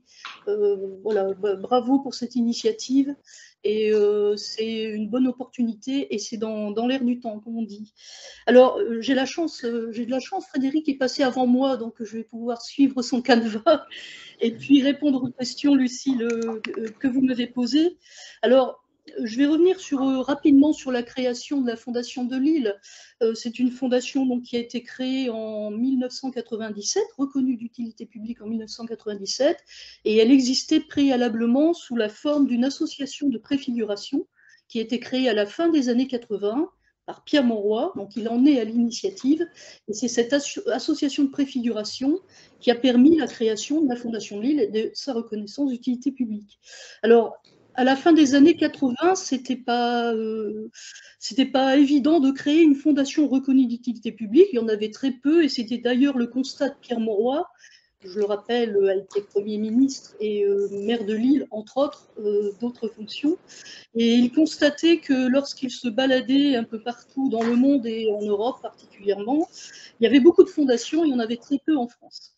Donc il a créé la, Fondation de Lille, il a eu cette idée à la fin des années 80 et il a fallu dix ans euh, pour euh, regrouper, réunir au sein de l'association de préfiguration des personnalités de la société civile, différents acteurs, publics et privés, parce que c'est aussi la marque de fabrique de la Fondation de Lille et c'était celle de Pierre Monroy, puisque euh, déjà, disait-il, l'intérêt général est l'affaire de tous et il souhaitait qu'on puisse travailler en complémentarité avec l'ensemble des acteurs. Je n'ai pas dit que c'était facile, mais c'était l'objectif qu'il euh, en avait. Et donc, euh, en dix ans, euh, nous avons réuni donc ces personnalités et puis constitué la dotation initiale pour devenir fondation reconnue d'utilité publique, puisque comme vous le savez, c'est une des prérogatives qui est exigée par le Conseil d'État. Alors, nous sommes, nous, une petite fondation, nous avons une dotation de 800 000 euros, donc on est une fondation avec dotation. Et puis, euh, pour rentrer dans les caractéristiques de la Fondation de Lille, alors c'est une fondation multicause. Nous intervenons euh, quasiment dans tous les domaines de l'intérêt général, ou en tout cas, on peut intervenir dans tous les domaines, action sociale, éducation, formation, recherche, culture, patrimoine, environnement. Donc, vous voyez que c'est assez large. on n'utilise pas tout toujours parce qu'on ne s'en sortirait pas. Et puis, effectivement, elle est qualifiée de fondation territoriale. Alors, je rappelle simplement une chose, c'est qu'une fondation territoriale n'est pas un statut juridique, c'est une dénomination euh, qui est apparue, je vais dire, dans les années 2008-2010, euh, puisque euh, c'est à l'occasion d'une mission d'études menée au Canada avec le Centre français des fonds et fondations que nous avons découvert les Community Foundations, et que voilà, on s'est dit, quand moi j'ai vu ça, euh, j'ai dit, il y a plein de petites fondations de l'île euh, là-bas, et euh, c'était une bonne opportunité pour nous parce qu'on ne se reconnaissait pas dans les modèles existants de fondations, enfin les fondations qui existaient dans les années 97. voilà, donc c'est à partir de là qu'on a mis en place, alors avec le centre hein, qui, a, qui, a, joué un rôle très très important, puis avec le rameau ensuite, qu'on a constitué cette idée de fondation territoriale qu'on n'a pas voulu dénommer communautaire pour les raisons que, vous pouvez euh, euh, imaginer. Euh, et pour répondre à la question de Lucille, avant d'enchaîner sur les actions que mène la Fondation de Lille, est-ce qu'il y a une définition de la fondation territoriale? Eh bien, il n'y a pas de définition officielle, puisqu'il n'y a pas de statut juridique. Et donc, c'est au regard des expériences euh, anglo-saxonnes, euh, européennes, que nous essayons de définir euh, une définition de la fondation territoriale. Enfin, moi, j'en ai, ai quelques critères, mais voilà, ce ne sera pas forcément partagé par tout le monde. Pour moi, une fondation territoriale, c'est un lieu catalyseur qui va réunir différents publics, différents acteurs, acteurs publics privés, les collectivités territoriales, les entreprises, les associations, les acteurs de l'ESS. Et puis, euh, la fondation territoriale va être euh, un outil au service des habitants euh, et des structures et un trait d'union entre les donateurs, les mécènes et les bénéficiaires et les associations. Voilà, les, les, grandes lignes. Donc pour moi, la fondation territoriale doit forcément être multicause puisqu'elle doit pouvoir répondre à toutes les problématiques liées à un territoire spécifique et, et avoir cette, comment dirais-je, c'est un, un, outil. Alors la fondation abritante est le meilleur outil pour moi euh, bon, c'est compliqué maintenant de créer des fondations reconnues d'utilité publique et abritantes, mais euh, il y a des fondations territoriales en France qui existent sous différentes formes, beaucoup de fonds de dotation, des fondations abritées, et c'est une chose heureuse puisqu'elles commencent à se développer euh, très fortement actuellement. Donc ça, c'était pour répondre à la question sur la notion de territorialité. Je précise une dernière chose sur ce point, c'est que la la territorialité n'est pas indiquée dans l'objet social de la fondation de Lille et on ne l'a jamais voulu parce qu'on ne veut pas s'interdire euh, d'intervenir euh, euh, en dehors de notre territoire. Et c'est d'ailleurs ce que l'on fait lorsque nous menons des actions de solidarité internationale. Lorsqu'il y a une catastrophe humanitaire, la Fondation de Lille lance un appel à dons et se fait ainsi l'écho de la générosité des gens du Nord en apportant, en collectant et en mutualisant des fonds publics et privés qui nous permet de soutenir des ONG euh, qui agissent sur le terrain, ce qu'on fait par exemple en Ukraine euh, actuellement. Euh, donc, fondation territoriale, pas, pas complètement fermée sur son territoire. Pour nous, ça c'est fondamental. Euh, il faut absolument s'ouvrir euh, sur le reste du monde, pouvoir intervenir euh, dans les pays qui en ont besoin en cas de catastrophe humanitaire, et surtout, même en France, et on le verra, j'en parlerai tout à l'heure, pouvoir mettre en place un dialogue des territoires avec notamment les fondations abritées territoriales sous l'égide de la Fondation de Lille. Alors, pour revenir sur la structuration de la Fondation de Lille, alors je disais c'est une petite fondation, on a un budget de, fonctionnement qui est d'environ 130, 140 000 euros. On a la chance d'avoir à disposition des locaux, d'être aidé par des mécènes. Et puis, on distribue à peu près 600 000 euros euh, par an. Enfin, ça peut varier 500, euh, 600, parfois 700 000 euros, avec toujours euh, des fonds à la fois privés et publics et la tendance de ces dernières années est d'avoir euh, des fonds privés qui sont plus importants que les fonds publics. On, était à 50-50 à peu près. Et euh, euh, il y a une tendance à l'augmentation des fonds privés au sein de la Fondation de Lille. Au niveau de ces, de, ces, de ces actions, alors je disais tout à l'heure, nous sommes une fondation médicause, donc nous avons des, des, des actions que nous menons chaque année, appuyées par du mécénat d'entreprise et des dons d'habitants. Alors, euh, je vais prendre des exemples, comme l'a fait Frédéric tout à l'heure, très précis pour être concrète. On mène une action, par exemple, qui s'appelle les Bourses de l'Espoir, qui est une action qui permet d'attribuer des aides financières coup de pouce à des étudiants ou des personnes en formation qui vont rencontrer une difficulté financière dans leur parcours euh, d'études ou de formation.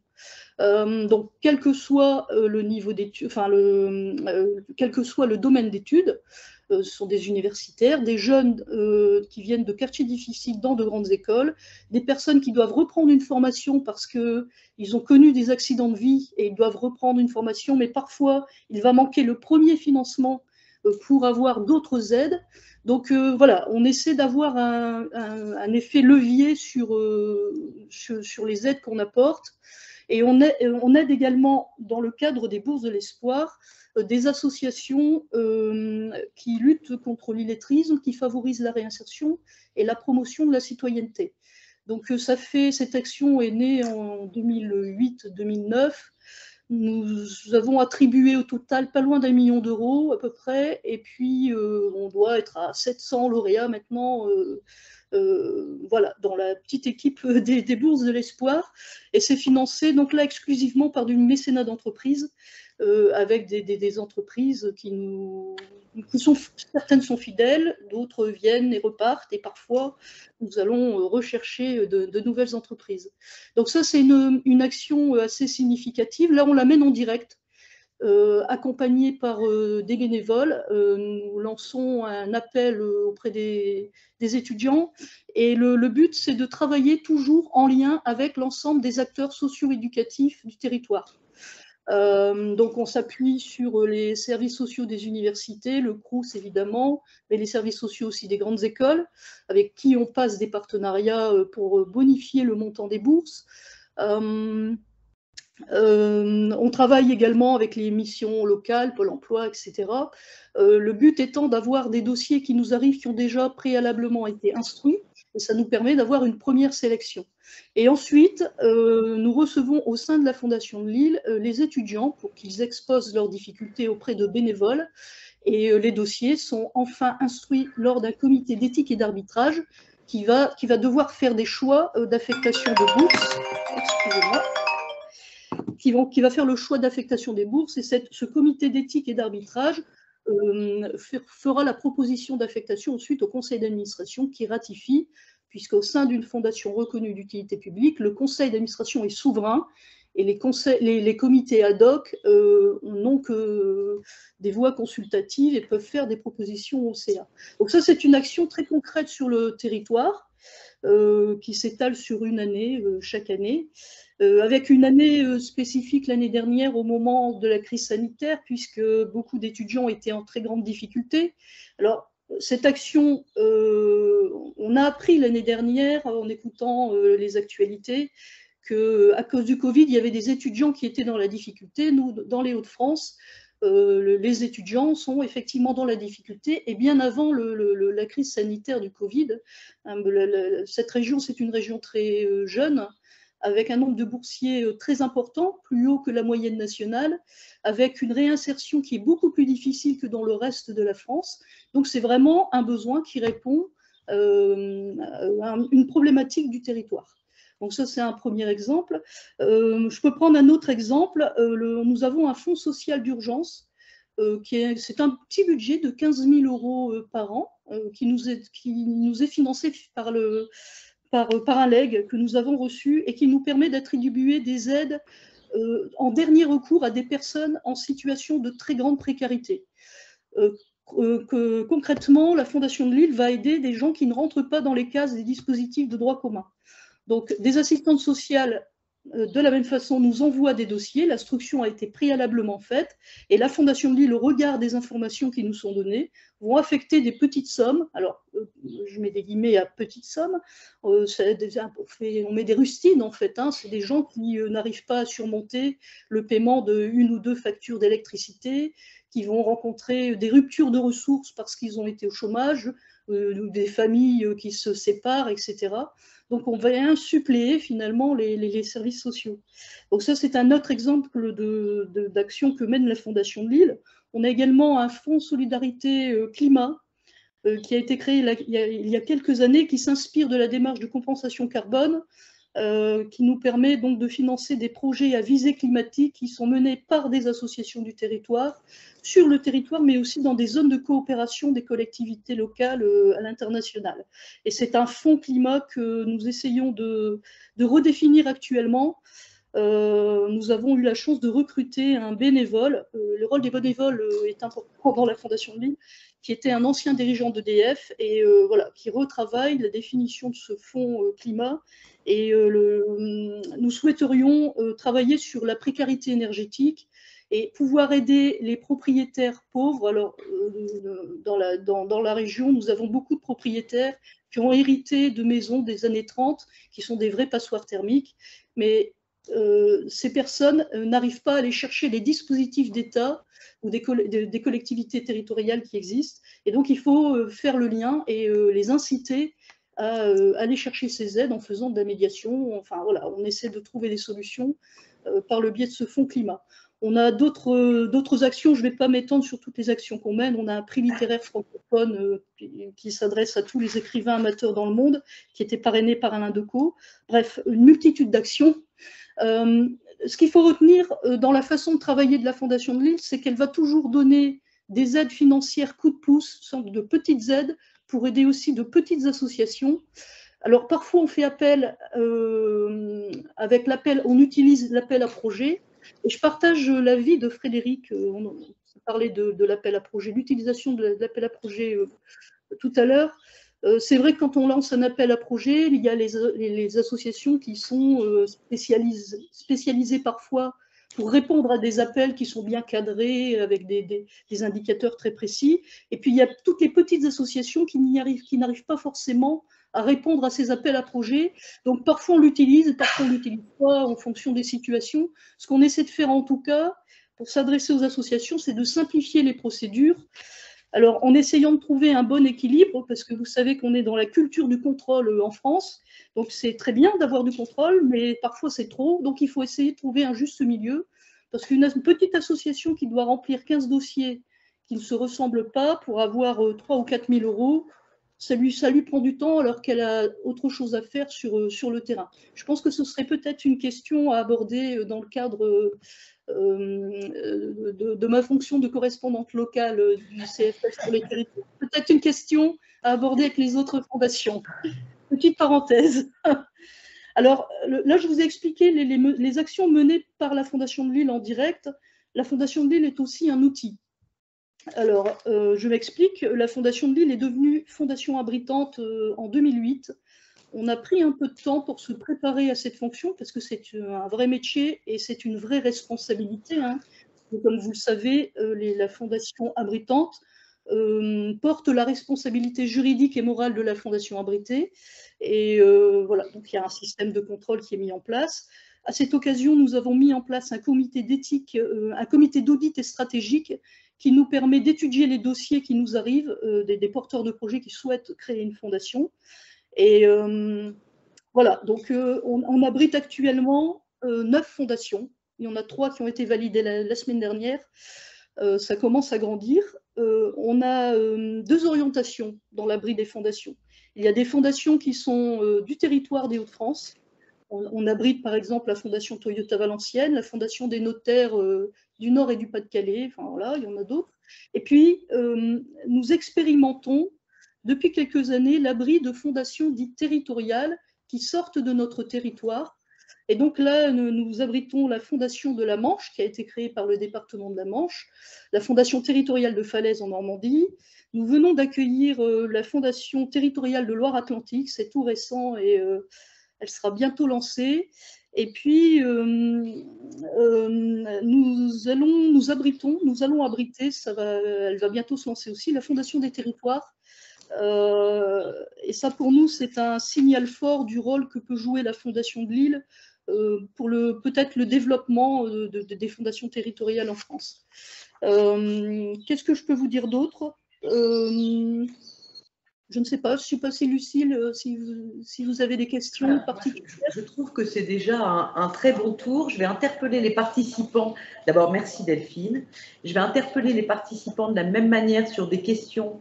Euh, si vous souhaitez euh, voir des points approfondis à partir de, l'intervention également extrêmement riche de Delphine, moi, je remarque quand même quelque chose dans votre intervention, Delphine.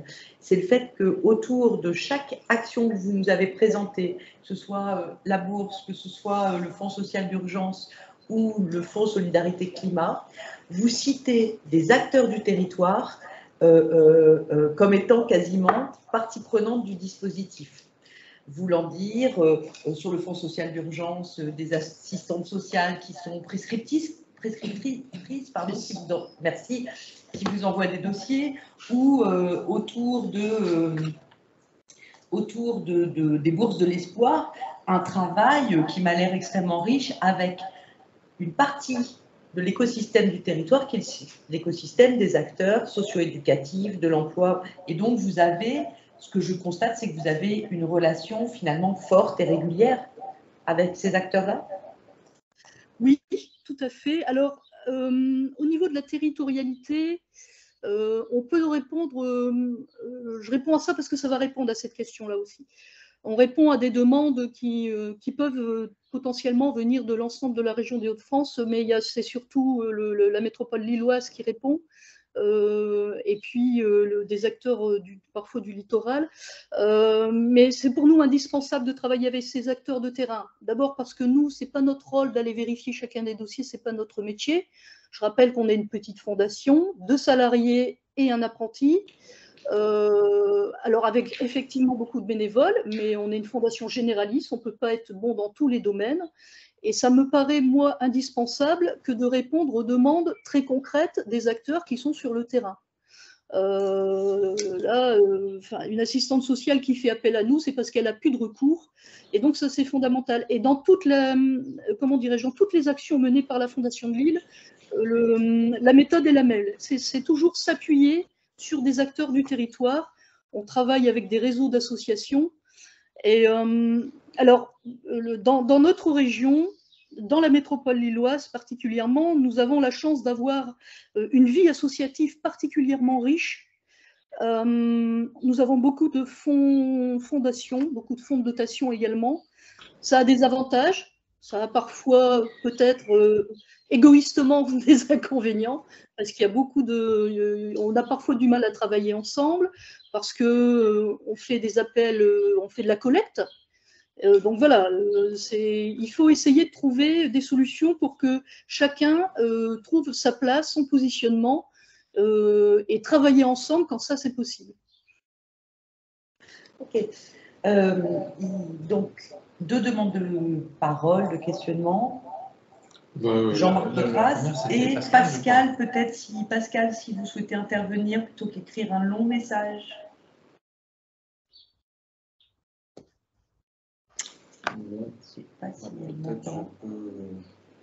Oui, bonjour, c'est à moi que vous vous adressez Oui, oui, exactement. bonjour, bah merci de, de me donner la, parole euh, très rapidement. Oui, donc je suis Pascal Stéphane, pour ceux qui. Je, travaille en Bretagne, donc c'est un territoire euh, très riche sur le plan associatif et, sur le plan de l'entraide et la solidarité. Euh, merci Delphine, c'est ce que j'écrivais dans mon mot là, euh, euh, de, l'introduction qui me paraît essentielle dans nos futurs travaux, de rappeler hein, qu'il n'y a pas de statut de fondation, statut juridique de fondation territoriale, parce que c'est un sujet qui me travaillait depuis Annecy pour investir le sujet, et, et c'est vrai que euh, si on doit réfléchir sur une méthodologie, je trouve qu'on est vraiment dans une co-construction d'acteurs de territoire et qu'il y a un travail préalable de, réflexion euh, euh, bah, qui, va probablement arriver à travers tous nos échanges pour bien accompagner bah, une action hein, sur une région, pour se faire rencontrer bah, tous les acteurs de l'intérêt général euh, qu'il soit privé ou public. Alors, voilà, donc, euh, je, trouve que c'est, euh, je ne sais pas si c'est partagé par les, autres personnes, mais, mais, ça me semble très important de, rappeler ça. Et puis, ça explique en partie aussi les particularités et l'histoire de certaines régions qui ont bien avancé et, qui seront certainement très utiles pour nous pour démarrer quelque chose, mais mais qui, qui, explique bien euh, cette démarche euh, collaborative et de, co-construction. Tout à fait, merci beaucoup. Euh, ce que je peux rajouter, c'est que Lucie l'a souvent dit, enfin en introduction, et Frédéric l'a rappelé aussi en parlant des territoires ruraux, c'est que chacun des territoires sont très différents. les problématiques dans la métropole lilloise ne, vont pas être les mêmes forcément à Nantes. Euh, ou à Bordeaux. Euh, ceci étant, au sein même de ces territoires, euh, il y a encore beaucoup d'inégalités dans les Hauts-de-France entre la métropole lilloise, le littoral et puis Maubeuge, par exemple. il y a beaucoup de disparités. Donc, les disparités, elles sont partout. Ceci étant, je pense que l'action territoriale, l'action au territoire, se fait l'écho aussi des problèmes plus nationaux qu'on va rencontrer. Euh, et, je pense que le dialogue entre le national et le local est important et fondamental euh, lorsqu'on mène des actions. Merci Delphine. Jean-Marc. Oui, merci beaucoup Delphine, c'est très, très riche.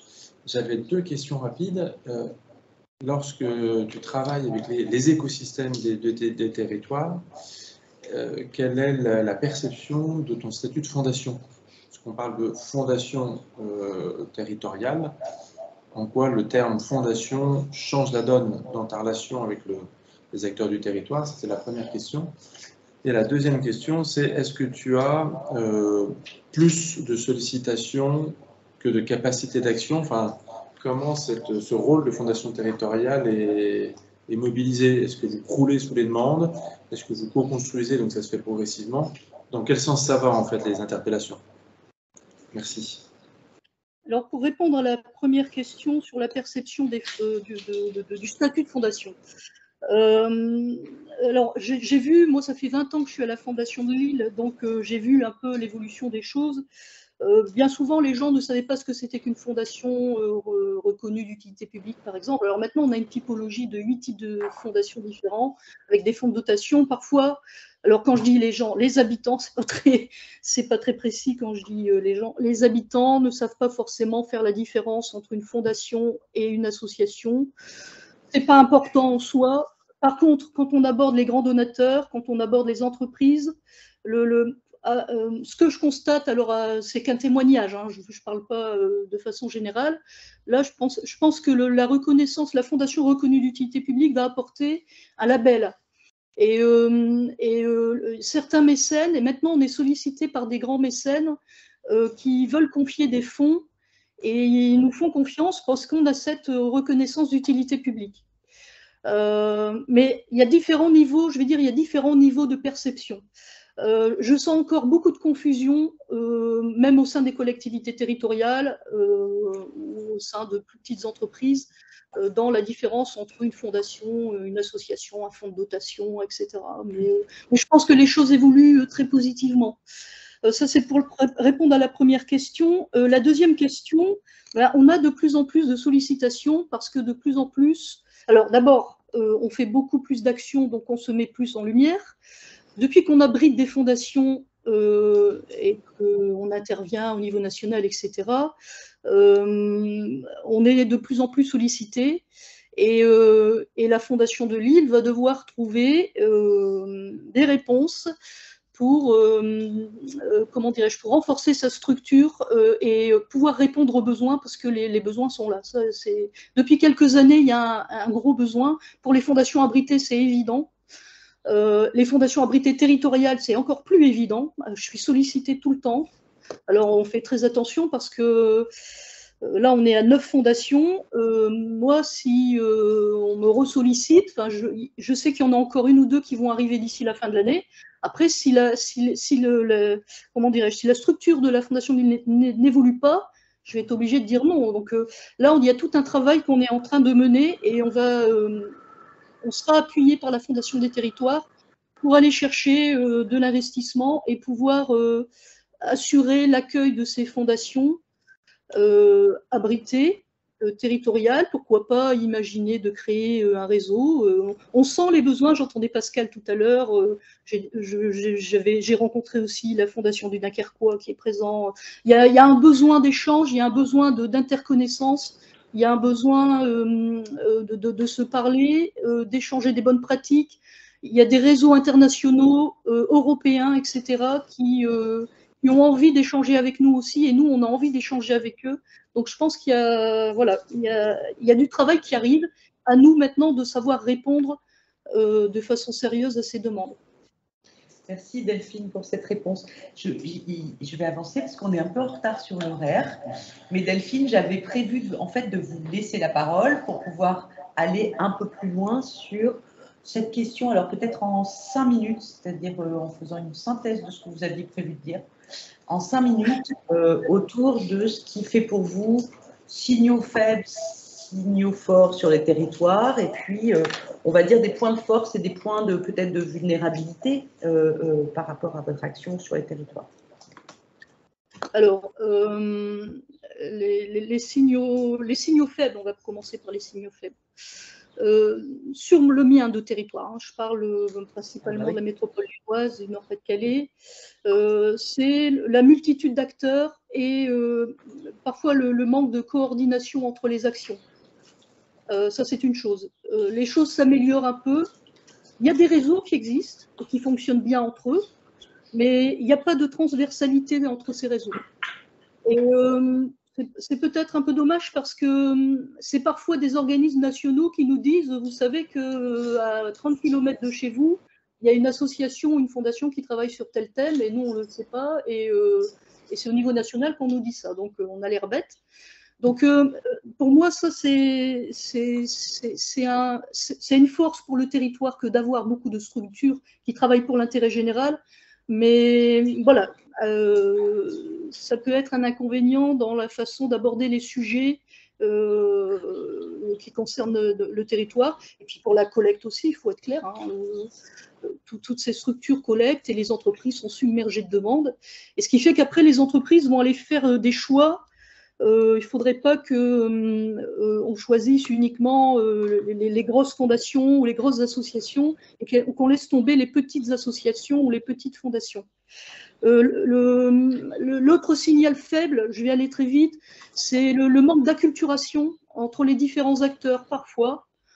c'est difficile de parler parfois avec une collectivité territoriale et c'est parfois difficile de parler avec une entreprise et c'est parfois difficile de parler avec le, milieu associatif. Donc, on a besoin de, euh, comment dirais-je, de d'un langage commun, enfin d'essayer de, s'apprendre, hein, de, faire alliance ensemble et de, surmonter, je veux dire, ces cultures propres. Euh, la, force, eh ben, c'est le, je vais dire, c'est les faiblesses aussi. c'est le revers euh, des, faiblesses, hein, c'est qu'on a des organismes nombreux qui s'intéressent à l'intérêt général. Il y a beaucoup d'organismes qui travaillent dans la proximité. Il y a une volonté de faire les choses ensemble parce qu'on sait bien que seul on ne va pas y arriver et qu'on a des défis de plus en plus grands. Euh, je pense que les acteurs du terrain ont bien conscience aussi de la défiance qu'il peut y avoir euh, de la part des citoyens vis-à-vis des, institutions. Euh, politiques, institutionnelles et des, plus grosses structures. Donc, je pense qu'il y a cette volonté-là d'avancer ensemble, mais c'est tout un cheminement, ça prend du temps. Et voilà, il faut que chacun, à sa place, contribue à faire avancer les choses, et surtout dans le respect de ce que sont les autres structures, sans, sans parler de leadership, hein, c'est l'inverse de, de, comment dirais-je, de la perception anglo-saxonne de la fondation communautaire. C'est que nous, les, enfin, les, fondations territoriales en France ne doivent pas parler de leadership ou de quoi que ce soit. On a le leadership de rien du tout. On doit travailler ensemble parce que chacun va amener ses compétences, ses connaissances. Et, euh, et le but, évidemment, c'est de répondre aux besoins des bénéficiaires. Merci, merci Delphine. C'était super rapide. c'est bien. Je, trouve que vous réagissez pas beaucoup dans le chat et dans la salle. Donc, faut pas hésiter parce qu'on a des intervenants euh, voilà, qui ont un bagage de connaissances et d'expérience euh, euh, important. Alors, quand même, Delphine, vous signalez que dans le chat, vous avez eu un petit message personnel. voilà. Ah oui. Non, je ne connais pas Ludovic Van de Voort, j'en suis désolée. Il y a un nom flamand, il y en a beaucoup euh, dans les Hauts-de-France. En tous les cas, moi, ce que j'entends dans ce que vous dites, c'est que finalement, euh, euh, il y a toute cette difficulté, l'enjeu de, qu'il y ait un dialogue facilité avec les collectivités locales. Est une fondation ancrée, c'est peut-être pas rien. d'avoir de l'interface avec la collectivité locale, hein, c'est pas l'État, même si l'État est présent aussi sur les territoires avec les entreprises, avec les associations. Mais je vais mettre ça au regard du fait que tout à l'heure, vous vous avez évoqué autour des actions un tas d'autres acteurs. Quand on parle des acteurs socio-éducatifs, quand on parle des assistantes sociales, et donc ça pose aussi la question, euh, comment dire, de considérer l'écosystème finalement euh, euh, autour des causes sur lesquelles on travaille. C'est-à-dire que on n'a pas sur les territoires qu'un triptyque qui serait association, un quadriptyque, association, entreprise, fondation, acteurs publics, mais finalement, tous ces réseaux d'acteurs et ces gens qui portent des connaissances parfois très, très ciblées, hein, je reviens sur les assistantes sociales, mais quand vous parlez des assistantes sociales, elles ont une cohorte de personnes qu'elles suivent, qui ont des difficultés singulières, et en même temps, elles ont elles aussi un territoire d'action. Elles aussi, elles connaissent des choses sur les inégalités territoriales. Voilà. Et donc, euh, ça, je voulais le, remettre sur le tapis parce que je pense que c'est important à considérer euh, euh, cette diversité d'acteurs, ce qui rend complexe d'ailleurs pour des acteurs comme vous, multicauses, le fait d'être en interface avec une diversité d'acteurs sur le territoire. Mm-hmm. Tout à fait. Petite demande, j'ai une petite demande voilà, de prise de parole dans la salle. Moi, j'ai une petite question. je suis Pierre, je suis responsable de la communication CFF depuis aujourd'hui. Euh, et moi, j'ai pas mal travaillé dans le passé sur la question du territoire. Et donc, du coup, je me posais la question suivante, c'est comment on se met d'accord sur ce qu'est l'attractivité du territoire, notamment avec les décideurs publics, parce qu'on a tous une vision différente de l'attractivité d'un territoire en fonction du prisme qu'on a en tête. Ça peut être l'emploi, ça peut être l'alimentation durable, ça peut être tout un tas de choses. Et parfois, c'est pas forcément conciliable dans les projets qui sont définis.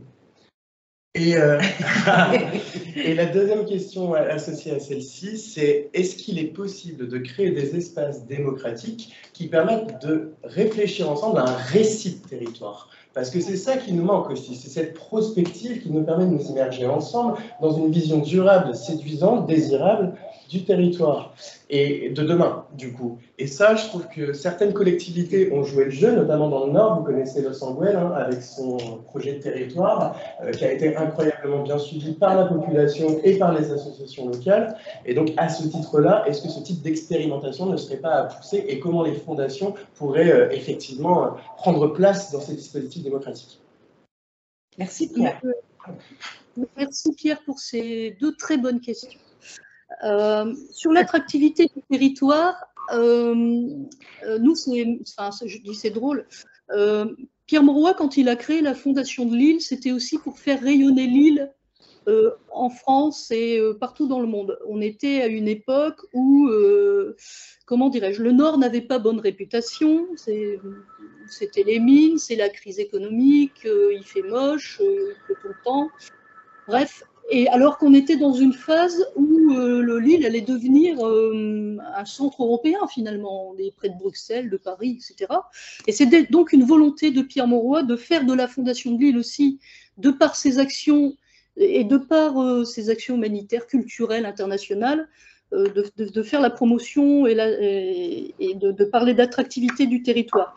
Et si vous connaissez le Nord, vous savez qu'il y a beaucoup d'agences maintenant, qu'il y a des agences comme Hello Lille, euh, d'ailleurs, nous avions avant euh, Lille Agency qui était dans le conseil d'administration de la Fondation de Lille et qui a fusionné avec Hello Lille. Euh, et effectivement, alors là, il parle plutôt d'attractivité économique, d'attractivité culturelle. Et nous, on essaie de, les convaincre que l'attractivité, comment dirais-je, l'attractivité, j'essaie de trouver la bonne formule de l'intérêt général pourrait être une chose aussi intéressante, de se dire que euh, oui, c'est ça, c'est euh, se dire que dans notre région, euh, on a une, une, culture de générosité, de, de, solidarité, et que ce serait bien de la valoriser au même titre que l'économie, que la culture, etc. Alors après, pour la deuxième question, le récit, la, la, question du récit de territoire, je trouve ça, c'est vraiment une, une riche idée. J'avoue que je n'ai pas la réponse maintenant. Il y a des projets qui ont été effectivement menés. Vous parliez de Los Angeles, euh, euh, ils ont fait un projet formidable. Je sais que euh, à Lille, ils essaient des choses, ça marche ou ça marche pas. il, manque, il manque quelque chose, il manque des maillons. Mmh. mais je, je n'arrive pas encore à les identifier et je ne sais pas encore de quelle façon on pourrait créer ensemble ce récit de territoire. Mais euh, il faut, voilà, je ne peux pas être plus précise maintenant. C'est une question qu'on a au cœur, euh, qui est au cœur de la fondation aussi, de se poser. Euh. Puis après, il y a, y a, aussi la notion de, de quel territoire parle-t-on?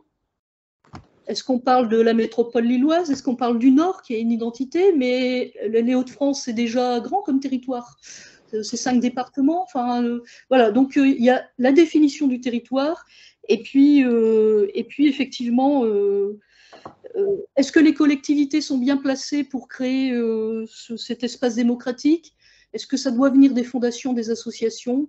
Voilà, sujet ouvert. Merci, merci Delphine pour cette réponse. Il y avait aussi une question de Anne-Claire Petit dans le chat qui avait un questionnement sur le lien avec les collectivités locales. je, ça a été un tout petit peu abordé, probablement insuffisamment, mais vu que l'heure tourne, je, voilà, je prends mon rôle d'animateur pour renvoyer la, quand même la, la, parole euh, sur signaux faibles et signaux forts à Frédéric Doé de la Fondation RTE. Frédéric, en fait, il faudrait que tu arrives à faire tenir ça en 7 minutes. Oh, moins que ça. Oh, super.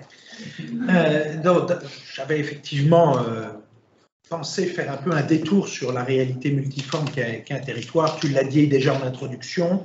hein. Mais quand même, il faut savoir que les ruraux vivent d'abord euh, euh, leur espace comme un espace objectif. Et objectivement, c'est ne pas être la ville. hein. c'est souvent en opposition.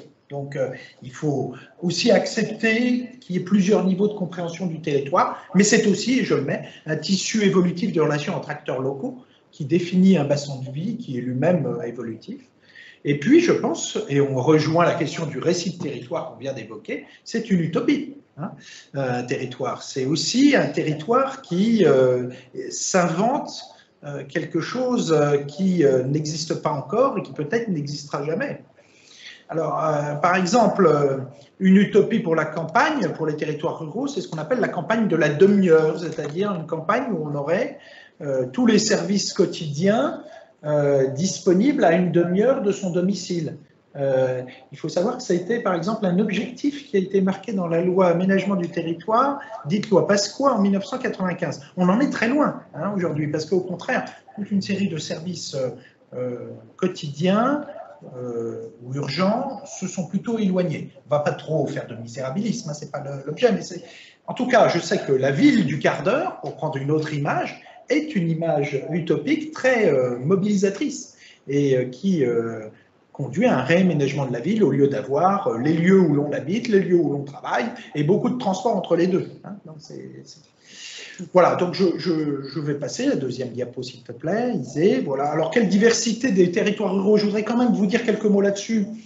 Euh, les campagnes des villes sont euh, assez euh, sous influence des villes, réfléchissent de la même manière, ont beaucoup de, valeurs communes, alors avec quand même des distinctions importantes, puisque vous le savez, l'un des points forts, là c'est un signal fort, comme on le sait, c'est qu'une partie de la population n'arrive plus à se loger dans les agglomérations et partent bah, deuxième cercle, troisième cercle, troisième périphérie, en campagne des villes, hein, où là, effectivement, on peut acheter et construire pour pas cher, mais du coup, ça transfère des, euh, dommages euh, collatéraux, euh, c'est-à-dire la nécessité d'avoir des transports, d'équiper tous ces territoires, sinon on a, et, d'ailleurs, et, ça n'est pas exclusif d'avoir des, villages dortoirs. Donc c'est quelque chose qui globalement plus dynamique euh, au sein de la ruralité, mais avec des diversités euh, assez importantes. Il y a euh, nos territoires ruraux en reconversion industrielle et agricole, parce qu'on parle beaucoup évidemment de la reconversion industrielle quand il s'agit de grandes agglomérations, Amiens, Lille, etc., pour prendre des exemples dans les Hauts-de-France. Mais il faut savoir qu'en France, les sites industriels, ils sont à la campagne. Comme ça. Finalement, plutôt moins en ville qu'à la campagne, notamment pour des questions probablement d'espace, de pollution, euh, de transport, de logistique. Euh, et il est clair que dans un territoire peu densément peuplé, euh, si vous avez l'usine du coin qui ferme, ça a un impact beaucoup plus fort que si c'est dans une agglomération où il y a un certain bassin d'emploi ou une activité qui décline peut être remplacée par une activité qui se développe. Voilà. Pas que c'est facile, je dis simplement que ça se voit beaucoup plus et les impacts sont beaucoup plus directs. Et il se trouve qu'aujourd'hui, la reconversion, eh bien, elle s'étend aussi à l'agricole. hein. Il y a de la déprise agricole, il y a des produits agricoles qui ont du mal à trouver leur marché et leur marge. Euh, il y a euh, aussi euh, tout simplement des réglementations que je ne discute pas, mais sur le fait qu'il faut y avoir un certain nombre de, friches agricoles. Euh, et puis enfin, il y a la question de la démographie, c'est-à-dire qu'aujourd'hui, euh, il y a des exploitations euh, agricoles, pourtant équilibrées quant à leur fonctionnement, alors peut-être pas suffisamment rémunératrices, qui ne trouvent pas de successeurs. hein. donc ces, reconversions sont quand même importantes. Je donne juste un exemple. Euh, euh, Aujourd'hui, beaucoup de territoires s'intéressent à restaurer du pastoralisme sur leur territoire euh, et ils cherchent des bergers. Alors il se trouve qu'il y a pas mal de jeunes aujourd'hui qui réfléchissent à une vie nouvelle. Donc des choses sont en construction, mais voilà, pas c'est pas spontané. Et puis enfin, les territoires dits à très faible densité, donc là je crois qu'on comprend bien ce que ça veut dire, ça représente quand même 30% du territoire français et 3-4% de la population. Et là, tous les sujets d'accès aux services dont on parlait tout à l'heure sont, majeurs. Alors, euh, tant que vous êtes en bonne santé, euh, tant que vous avez une vie sociale, euh, je dirais, traditionnelle, bien ancrée, c'est des territoires où il fait bon vivre. Mais dès que vous avez besoin d'un niveau de service supplémentaire, ça devient vraiment compliqué. Et donc, on va passer tout ça. Et la diapo suivante, voilà. Euh, J'ai parlé de l'appel à projet euh, en continu, on ne va pas en, en revenir euh, dessus. J'ai quand même peut-être pas assez insisté sur le fait que notre fondation a fait un choix, c'est qu'étant donné qu'elle fait une fondation moyenne, qu'elle veut planter des petites graines, c'est donc des projets de taille modeste que nous soutenons. Hein. la subvention moyenne est de 25 000 euros et on est plutôt à la phase initiale de preuve du concept. Si le concept fonctionne, heureusement, il y a des puissants acteurs euh, philanthropiques ou, ou, ou, autres qui peuvent intervenir pour, euh, pour prendre le relais pour euh, le passage à l'échelle ou la croissance. Voilà. Euh, ce qui nous importe quand même, c'est euh, de, de, pouvoir rester, on l'évoquait tout à l'heure sur la, la, les questions de dossier, dans une approche euh, simple, sobre si possible, aussi pas trop élaboré, euh, pas trop sophistiqué, en proximité. Alors, quand je dis en proximité, en réalité, nous sommes très lointains, nous sommes parisiens, hein, mais euh, nous, souhaitons que justement ce soit les porteurs de projets qui, nous, témoignent de, cette euh, proximité par rapport aux enjeux qu'ils veulent adresser, et notamment par euh, l'écosystème qu'ils créent avec les autres acteurs locaux, et c'est ce que j'appelais la dynamique des acteurs locaux. Et juste pour rester un instant là-dessus, c'est clair que l'histoire euh, sociopolitique en France fait qu'on n'a pas le même attrait pour le fait associatif en général, on parle d'associativité plutôt, euh, que partout sur le territoire. Il y a des territoires où, au contraire, il y a un extrême individualisme ou une société euh, qui a été blessée et déstructurée, et donc, euh, l'idée que les acteurs locaux soient forts et qu'ils coopèrent entre eux n'est pas spontanée. À l'inverse, on connaît des territoires qui ont traversé des épreuves, mais qui l'ont traversé mieux que d'autres, en tout cas moins mal que d'autres, parce qu'il y avait cette associativité forte. Et je pense par exemple aux Hauts-de-France, quand, on parlait tout à l'heure de solidarité et euh, de, Voilà. Donc on va passer à la suivante, s'il te plaît, Alors parmi les signaux forts, je voudrais juste enfoncer quelques portes ouvertes, mais que vous ayez bien ça en tête. L'isolement et la faible densité en territoire rural, évidemment, donc la distance, l'éloignement des services, la couverture numérique incomplète, ça, ça reste quand même un signal fort, même s'il y a des progrès, euh, par exemple, dans la couverture numérique. Euh, je dirais, vu de Paris, euh, les opérateurs nous expliquent que ça y est, on est presque arrivé, etc. Vu du territoire, on connaît encore plein d'entreprises qui ont des difficultés à avoir un Internet au débit. le vieillissement, j'en ai parlé. La faiblesse des ressources. Alors, des ressources, je dirais, euh, pas seulement monétaires, c'est ça qui me paraît important. Il ne faut pas se voiler la face. Euh, il y a un manque de diversité et, et, et d'approfondissement des ressources humaines dans le monde. Euh, il y a des faiblesses de ressources en ingénierie, donc on va souvent chercher des bureaux d'études loin quand on a l'idée même de, se faire aider. Et puis euh, les moyens des très petites collectivités qui sont focalisées sur des dépenses obligatoires. Hein. Quand vous tenez une mairie, vous avez quelques obligations. Et puis une fois que vous êtes arrivé au bout, ben, il n'y a plus de ressources pour, euh, préparer, euh, même à de modeste échelle, les investissements d'avenir. Alors ça, je pense que tout le monde avait ça en tête quand je parlais des territoires ruraux. Alors des signaux plus faibles, bah, l'éloignement des centres de ces décisions. Ça ne s'améliore pas, cette situation. Hein. Euh, il y a encore récemment, on est passé à des communautés de communes dites XXL, ça veut dire très grand, euh, plus de 20 000 habitants, euh, souvent plus de 50 à 100 communes. Ça signifie, par exemple, juste pour vous donner un exemple, qu'il n'y a plus, parce que ça deviendrait des assemblées communautaires ingérables, il y a certaines communes qui ne sont plus représentées au niveau intercommunal. Bon, on en pense ce qu'on veut, je dis simplement que ça ne peut pas ne pas alimenter un sentiment de dépossession et d'éloignement. Les régions sont devenues, pour certaines d'entre elles, géantes. Hein. Je crois qu'elles euh, ont fait au mieux avec la loi et elles essayent d'avoir des antennes en proximité, etc. Mais voilà, elles sont devenues très très grandes. Et objectivement, beaucoup d'entre elles sont plus grandes que beaucoup de pays européens. Donc euh, voilà, c'est quand même une réalité. Et euh, alors ça, c'est des signaux plus faibles euh, sur lesquels euh, on reçoit. c'est vrai qu'une fondation qui arrive et qui dit Moi, je, suis en mesure de répondre à votre demande de soutien financier et technique, ça évite d'avoir à se poser la question est-ce que je dois saisir la communauté de communes parce que c'est elle qui est compétente, ou la région, ou une agence départementale, etc. Ça simplifie quand même les choses on essaye quand même de faire en sorte de réadresser hein, ces associations vers leur tissu local, ne serait-ce que parce que bah, font partie de l'écosystème et il faut mobiliser euh, ces euh, ressources et ces solidarités euh, locales. Et enfin, le cloisonnement entre acteurs. Alors ça, c'est un peu le paradoxe. Hein, on, pense, un peu par Delphine hein, aussi. On, on, croit qu'en milieu rural, il y a une forme de connaissance, d'interconnaissance des gens, etc. Moi, je vous donnais l'exemple tout à l'heure des villages dortoirs.